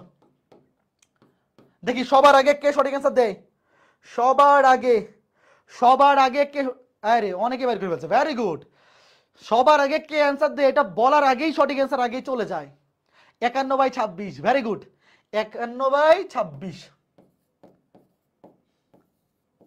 ভেরি গুড যারা সঠিক অ্যান্সার দিছো, অনেকে দেখতেছি ভুল অ্যান্সার দিচ্ছ। অনেকে দেখতেছি ভুল অ্যান্সার দিচ্ছ। এটা ভুল করলে তো চলবে না। এইটা যদি ভুল করো, নিজের গালে নিজে একটা থাপ্পড় দেও। এইটার উত্তর যাদের ভুল আসছে, তোমরা নিজের গালে নিজে একটা থাপ্পড় দাও, তোমরা চিহ্ন বসাইতে ভুল করছ। বাই তৃতীয় চতুর্ভাগে আচ্ছা এইটা তো দেখো কজ মাইনাস থিটা প্লাস হয়ে যাবে। কজ মাইনাস থিটা মানে plus cos theta sec minus theta মানেও প্লাস সেক থিটাই এখানে আসলে মাইনাস থিটা দুইটাই প্লাস হয়ে যাবে। বাই তৃতীয় চতুর্ভাগে সাইনের চিহ্ন নেগেটিভ কজের চিহ্ন নেগেটিভ সেকের চিহ্ন নেগেটিভ শুধু টেন পজিটিভ বসাও। ওকে আমি এত দ্রুত করতে পারি না কেন? কোনো সমস্যা নাই। আস্তে আস্তে শিখতে থাকো। এখনও তোমার হাতে আড়াই বছর, দুই বছরের বেশি সময় আছে। তুমি আস্তে আস্তে শিখো আগে। তারপর যখন বাড়ির কাজ দিব প্র্যাকটিসগুলা করো, বাড়ির কাজগুলা করো, আস্তে আস্তে ইমপ্রুভ হবে। এত দ্রুত পারার দরকার নাই। আস্তে ধীরেই শিখো। পরীক্ষায় যথেষ্ট সময় থাকে এইচএসসি পরীক্ষা এবং ভর্তি পরীক্ষায় যথেষ্ট সময় থাকে। এত দ্রুত অ্যান্সার দেওয়ার কোনো দরকার নাই। তুমি ধীরে সুস্থে সঠিক অ্যান্সার দাও। যারা দ্রুত অ্যান্সার দেয়, ওরা দ্রুত দ্রুত করতে গিয়ে কিন্তু অনেকে ভুল অ্যান্সারও দেয়। তার চাইতে তুমি একটু সময় বেশি নাও বাট কারেক্ট অ্যান্সার দেও। তাইলেই ভালো করতে পারবা। কোনো সমস্যা নাই। অত দ্রুতও পারা লাগবে না। ভর্তি পরীক্ষায় যথেষ্ট সময় থাকে। অত কম সময়ও থাকে না যে একদম দ্রুত অ্যান্সার দৌড়ে দৌড়ে অ্যান্সার লাগবে। ঠিক আছে। তো আজকে ক্লাসটা এ পর্যন্তই থাকুক। আজকে ক্লাসটা মোটামুটি এই পর্যন্তই থাকল। আগামী ক্লাসে আমরা বাকিটা কন্টিনিউ করব। ঠিক আছে? শোনো, আজকে ক্লাসের পরেও কোনো বাড়ির কাজ থাকবে না। কারণ এখনও আমরা বেসিক জিনিসই পড়তেছি। প্রথম ক্লাসটা পিওর বেসিক ছিল। আজকে ক্লাসে যদিও কিছু জিনিস পড়ছি বাট বাড়ির কাজ দেওয়ার মতো এখনও হয় নাই। আগামী ক্লাসে ত্রিকোণমিতির তিন নাম্বার ক্লাসের পরে আমরা বাড়ির কাজ দিব। এবং প্রথম উইকলি এক্সামটা মিনিমাম ছয় ক্লাস পরে নিব। কারণ প্রথম তিন চার ক্লাসে খুবই অল্প জিনিস পড়াবো। প্রথম উইকলি এক্সামটা যদিও প্রতি চার ক্লাস পর পর উইকলি এক্সাম হওয়ার কথা বাট প্রথম উইকলি এক্সামটা আমি মিনিমাম ছয় ক্লাস পরে নিব। কারণ প্রথম দিকের অধ্যায়গুলো মানে প্রথম দিকের আলোচনাগুলো বেশি সহজ। এগুলোর উপর উইকলি এক্সাম নিলে সবাই একশোতে পঞ্চাশ, একশো পঞ্চাশ একশো পঞ্চাশ পাই বলবে এই জন্য ছয় ক্লাসের উপর নিব, মোটামুটি একটু পরে নিই, ঠিক আছে? ওকে দাদা ক্লাস করে কি বইয়ের ম্যাথ করব? আমি বাড়ির কাজ দিলে পরে, আগে না। আজকে দুই নাম্বার ক্লাস গেল না, তিন নাম্বার ক্লাস যাক। তারপরে লেকচার এক থেকে তিন, ভাই, প্রথম দুই ক্লাসে খুবই অল্প জিনিস পড়াইছি। বাড়ির ক্লাস দিলে মাত্র পাঁচ, ছয়টা ম্যাথ হবে। তার চাইতে আর একটা ক্লাস যাক, তারপরে আমি কেতাবুদ্দিন স্যারের বই এবং অসীম কুমার শাহ স্যারের বই থেকে ম্যাথ দাগাই বাড়ির কাজ দিব। তারপরে বাড়ির কাজ করবা। প্রথম দিকে তো বেসিক জিনিসগুলো বেশি পড়াই, এই জন্য বাড়ির কাজ কম থাকে। বাট পরবর্তীতে দেখা যাবে প্রতি এক ক্লাস পর পর বাড়ির কাজ দিচ্ছি, অথবা প্রতি দুই ক্লাস পর পর বাড়ির কাজ দিচ্ছি। ঠিক আছে, ভাইয়া, বইয়ের টার্গেট থাকলে অপশনাল কোনটা নিব? যে কোনো শোনো অপশনাল কে কোন সাবজেক্ট নিচ্ছ ডাজেন্ট ম্যাটার ম্যাথ এবং বায়োলজি এই দুইটা থাকলেই হবে। বাট যদি তোমার টার্গেট ইঞ্জিনিয়ারিং হয়, তাহলে অবশ্যই আমি এক্সপেক্ট করব তুমি ম্যাথে বেশি ভালো। তাহলে ম্যাথটাকে তুমি মেইন সাবজেক্ট নেও বায়োলজিটাকে অপশনাল নেও। বুয়েট ভর্তি পরীক্ষা বা মেডিকেল ভর্তি পরীক্ষায় কোনটা অপশনাল ছিল ডাজেন্ট ম্যাটার ম্যাথ এবং বায়োলজি থাকলেই হইল। বাট নর্মালি যাদের টার্গেট ইঞ্জিনিয়ারিং থাকে, তারা ম্যাথ একটু বেশি ভালো পারে। এই জন্য তারা ম্যাথ নেয় মেইন সাবজেক্ট বায়োলজি নেয় অপশনাল সাবজেক্ট আর যাদের টার্গেট মেডিকেল তারা বায়োলজিটাকে মেইন সাবজেক্ট নেয় হায়ার ম্যাথকে অপশনাল বাট এইচএসসি পরীক্ষা তোমাকে দুইটার পরীক্ষায় দিতে হবে, দুইটাতেই ভালো করতে হবে। ডাজেন্ট ম্যাটার আসলে অপশনাল কোনটা ডাজেন্ট ম্যাটার এস ডাব্লিউ কি ওয়েবে পাবো? অবশ্যই পাবা। এস ডাব্লিউ ফেসবুক গ্রুপেও পাবা ওয়েব অ্যাপেও পাবা। ওয়েব অ্যাপে ক্লাসের নিচে লেকচার শিট দেওয়া থাকে, এটা কি চেক করে দেখছ? ক্লাসের নিচে লেকচার শিট অপশন থাকে না? যখন বাড়ির কাজ দিব, মনে করো তিন নাম্বার ক্লাসের নিচে বাড়ির কাজ দিব। ওই যখন বাড়ির কাজ দিব লেকচার শিটের নিচে প্র্যাকটিস শিট মানে বাড়ির কাজ ওখানে থাকবে, বুঝছ? টেনশন নাই। যেই যেই ক্লাসের পরে বাড়ির কাজ দিব, ওই ওই ক্লাসে লেকচার শিটের নিচে বাড়ির কাজও দেওয়া থাকবে ওয়েব অ্যাপে আর ফেসবুক গ্রুপে তো তুমি ঢুকলেই পাবা। কাজে টেনশন নাই। হ্যাঁ ঠিক আছে ফাহিম, ভালো থাকো। ইমন, অর্ণব, তো ঠিক আছে। সবাই ভালো থাকো, সুস্থ থাকো। আজকে ক্লাসটা এ পর্যন্তই। আগামী ক্লাসে দেখা হবে। এই আগামী ক্লাস কবে? রুটিন জানো তো, গ্রুপের কভার ফটো দেওয়া আছে। আগামী ক্লাস শুক্রবার, সন্ধ্যা সাতটা ত্রিশ। তো ঠিক আছে, শুক্রবারে দেখা হবে। এবং শুক্রবারে ক্লাসের পর কিন্তু বাড়ির কাজ দিব। যারা এখনও বই কিনো নাই, কোনো সমস্যা নাই। আমি বাড়ির কাজ দিব, বই থেকে দাগাই দিব। সুন্দর মতো পিডিএফ দেখে দেখেই বাড়ির কাজ করতে পারবা। আর যদি কেউ বই কিনে ফেলো, খুবই ভালো, কোনো সমস্যা নাই। আর কেউ যদি চাও যে নতুন বই বাইর হলে তারপরে কিনবো, সেক্ষেত্রেও কোনো সমস্যা নাই। তুমি পিডিএফ আমি যে বাড়ির কাজগুলো দিব, সেই ফাইলগুলো দেখে দেখেই বাড়ির কাজ করতে পারবা। ইংলিশে ট্রান্সলেট করে দিয়ে ইংলিশ ভার্সনের ভাইয়া সব কিছু ইংলিশে ট্রান্সলেট কেমনে করে দিব ভাই? দুইটা ট্রান্সলেট করে তো খাতাই শেষ হয়ে যাবে। মোটামুটি হায়ার ম্যাথে, শোনো, হায়ার ম্যাথে জাস্ট বেসিক পার্টটুকু ছাড়া, বাকি ম্যাথ তো সব অটোমেটিক এমনিতেই ইংলিশ। যারা ইংলিশ ভার্সনে আসো, হায়ার ম্যাথে তোমাদের কোনো অসুবিধা হবে না। কারণ হায়ার ম্যাথে যা লিখালিখির অপশন আছে সব তো এমনিতেই ইংলিশ এই এমনিতেই ইংরেজি। আর বেসিক বাংলা যতটুকু, তুমি তো বাংলা ভাষাভাষী নাকি? তুমি তো আর ব্রিটিশ নাগরিক না। বাংলা ভাষা বুঝো না, এরকম তো কেউ নাই। আর আমি নিজে তো ইংলিশ ভার্সনেরও না ইংলিশ মিডিয়ামেরও না। কাজে আমি যদি ইংরেজি পুরোটা মিলায় পড়াইতে যাই, তাহলে এখানে জগা খিচুড়ি হয়ে যাবে। ম্যাথ যখন করাবো, তখন বাংলাই বলব বাট যা লিখব তা তো ইংরেজিতেই। আশা করি বুঝতে অসুবিধা হবে না। তো ঠিক আছে, সবাই ভালো থাকো, সুস্থ থাকো। আগামী ক্লাসে দেখা হবে। স্যার স্ট্যাটিস্টিক্স অপশনাল নিলে প্রবলেম হবে। স্ট্যাটিস্টিক্স নিলে তুমি মেডিকেলে পরীক্ষা দিতে পারবা না। মেডিকেলে পরীক্ষা দেওয়ার জন্য অবশ্যই বায়োলজি তোমার পড়া লাগবে। মেইন সাবজেক্ট হোক অথবা অপশনাল যদি স্ট্যাটিস্টিক্স কেউ নেও, তাহলে মেডিকেলে পরীক্ষা দিতে পারবে না। এবং ভর্তি পরীক্ষায় ভার্সিটি ভর্তি পরীক্ষায় যত বায়োলজিক্যাল সাবজেক্ট আছে, ওইগুলাতেও তুমি ভর্তি হইতে পারবে না। বুঝছ? ওকে কলেজ খুললে প্রতিদিন কতক্ষণ পড়ব? কলেজ খুললে প্রতিদিন মিনিমাম চার থেকে পাঁচ ঘণ্টা পড়ার ট্রাই করবা। আমার রুটিন ছিল এরকম, যখন কলেজ ছুটি থাকতো, তখন আমি ডেলি আট থেকে দশ ঘণ্টা পড়তাম। আর যখন কলেজ খোলা থাকতো, তখন প্রাইভেটের বাইরে নিজে চার ঘণ্টা পড়তাম। কারণ কলেজ খোলা থাকলে ক্লাস করার পরে নিজে পড়ার টাইম খুবই কম পাওয়া যায়। সেক্ষেত্রে আমি ডেলি চেষ্টা করতাম রেগুলারিটি মেনটেন করে ডেলি তিন থেকে চার ঘণ্টা মিনিমাম পড়ার। কারণ সারাদিন কলেজ থাকতো, বিকালে প্রাইভেট থাকতো, সন্ধ্যায়ও প্রাইভেট থাকতো, আমি বাসায় ব্যাকই করতাম নয়টা, সাড়ে নয়টায়। সেক্ষেত্রে দশটা থেকে একটা। মিনিমাম ওই টাইমটা আমি রেগুলারলি পড়তাম। তো যখন কলেজ খোলা হয়ে যাবে, তখন তুমি চাইলেও ডেলি সাত আট ঘণ্টা পড়তে পারবে না। কলেজ প্রাই প্লাস প্রাইভেটের পরে বা টিউশনির পরে দেখা যাবে সর্বোচ্চ তিন চার ঘণ্টা থাকে। সেক্ষেত্রে তোমার টার্গেট থাকবে ডেইলি রেগুলারিটি মেনটেন করে মিনিমাম তিন চার ঘণ্টা পড়া। আর যখন কলেজ ছুটি থাকবে, তখন সাত আট ঘণ্টা বা দশ ঘণ্টা পড়বা। ঠিক আছে? যেদিন কলেজ অফ ওই দিনটাকে ইউজ করবা। তো সবাই ভালো থাকো। সুস্থ থাকো। কোন কলেজে ছিলেন? আমি ছিলাম ময়মনসিংহের শহীদ সৈয়দ নজরুল ইসলাম কলেজ তো ঠিক আছে, সবাই ভালো থাকো। শুক্রবারে দেখা হচ্ছে। টাটা। আগামী ক্লাস থেকে বাড়ির কাজ শুরু হবে। সুখে শান্তির দিন শেষ। আরামের দিন কিন্তু শেষ। আগামী ক্লাস থেকে বাড়ির কাজ আসতেছে। ঠিক আছে, টাটা।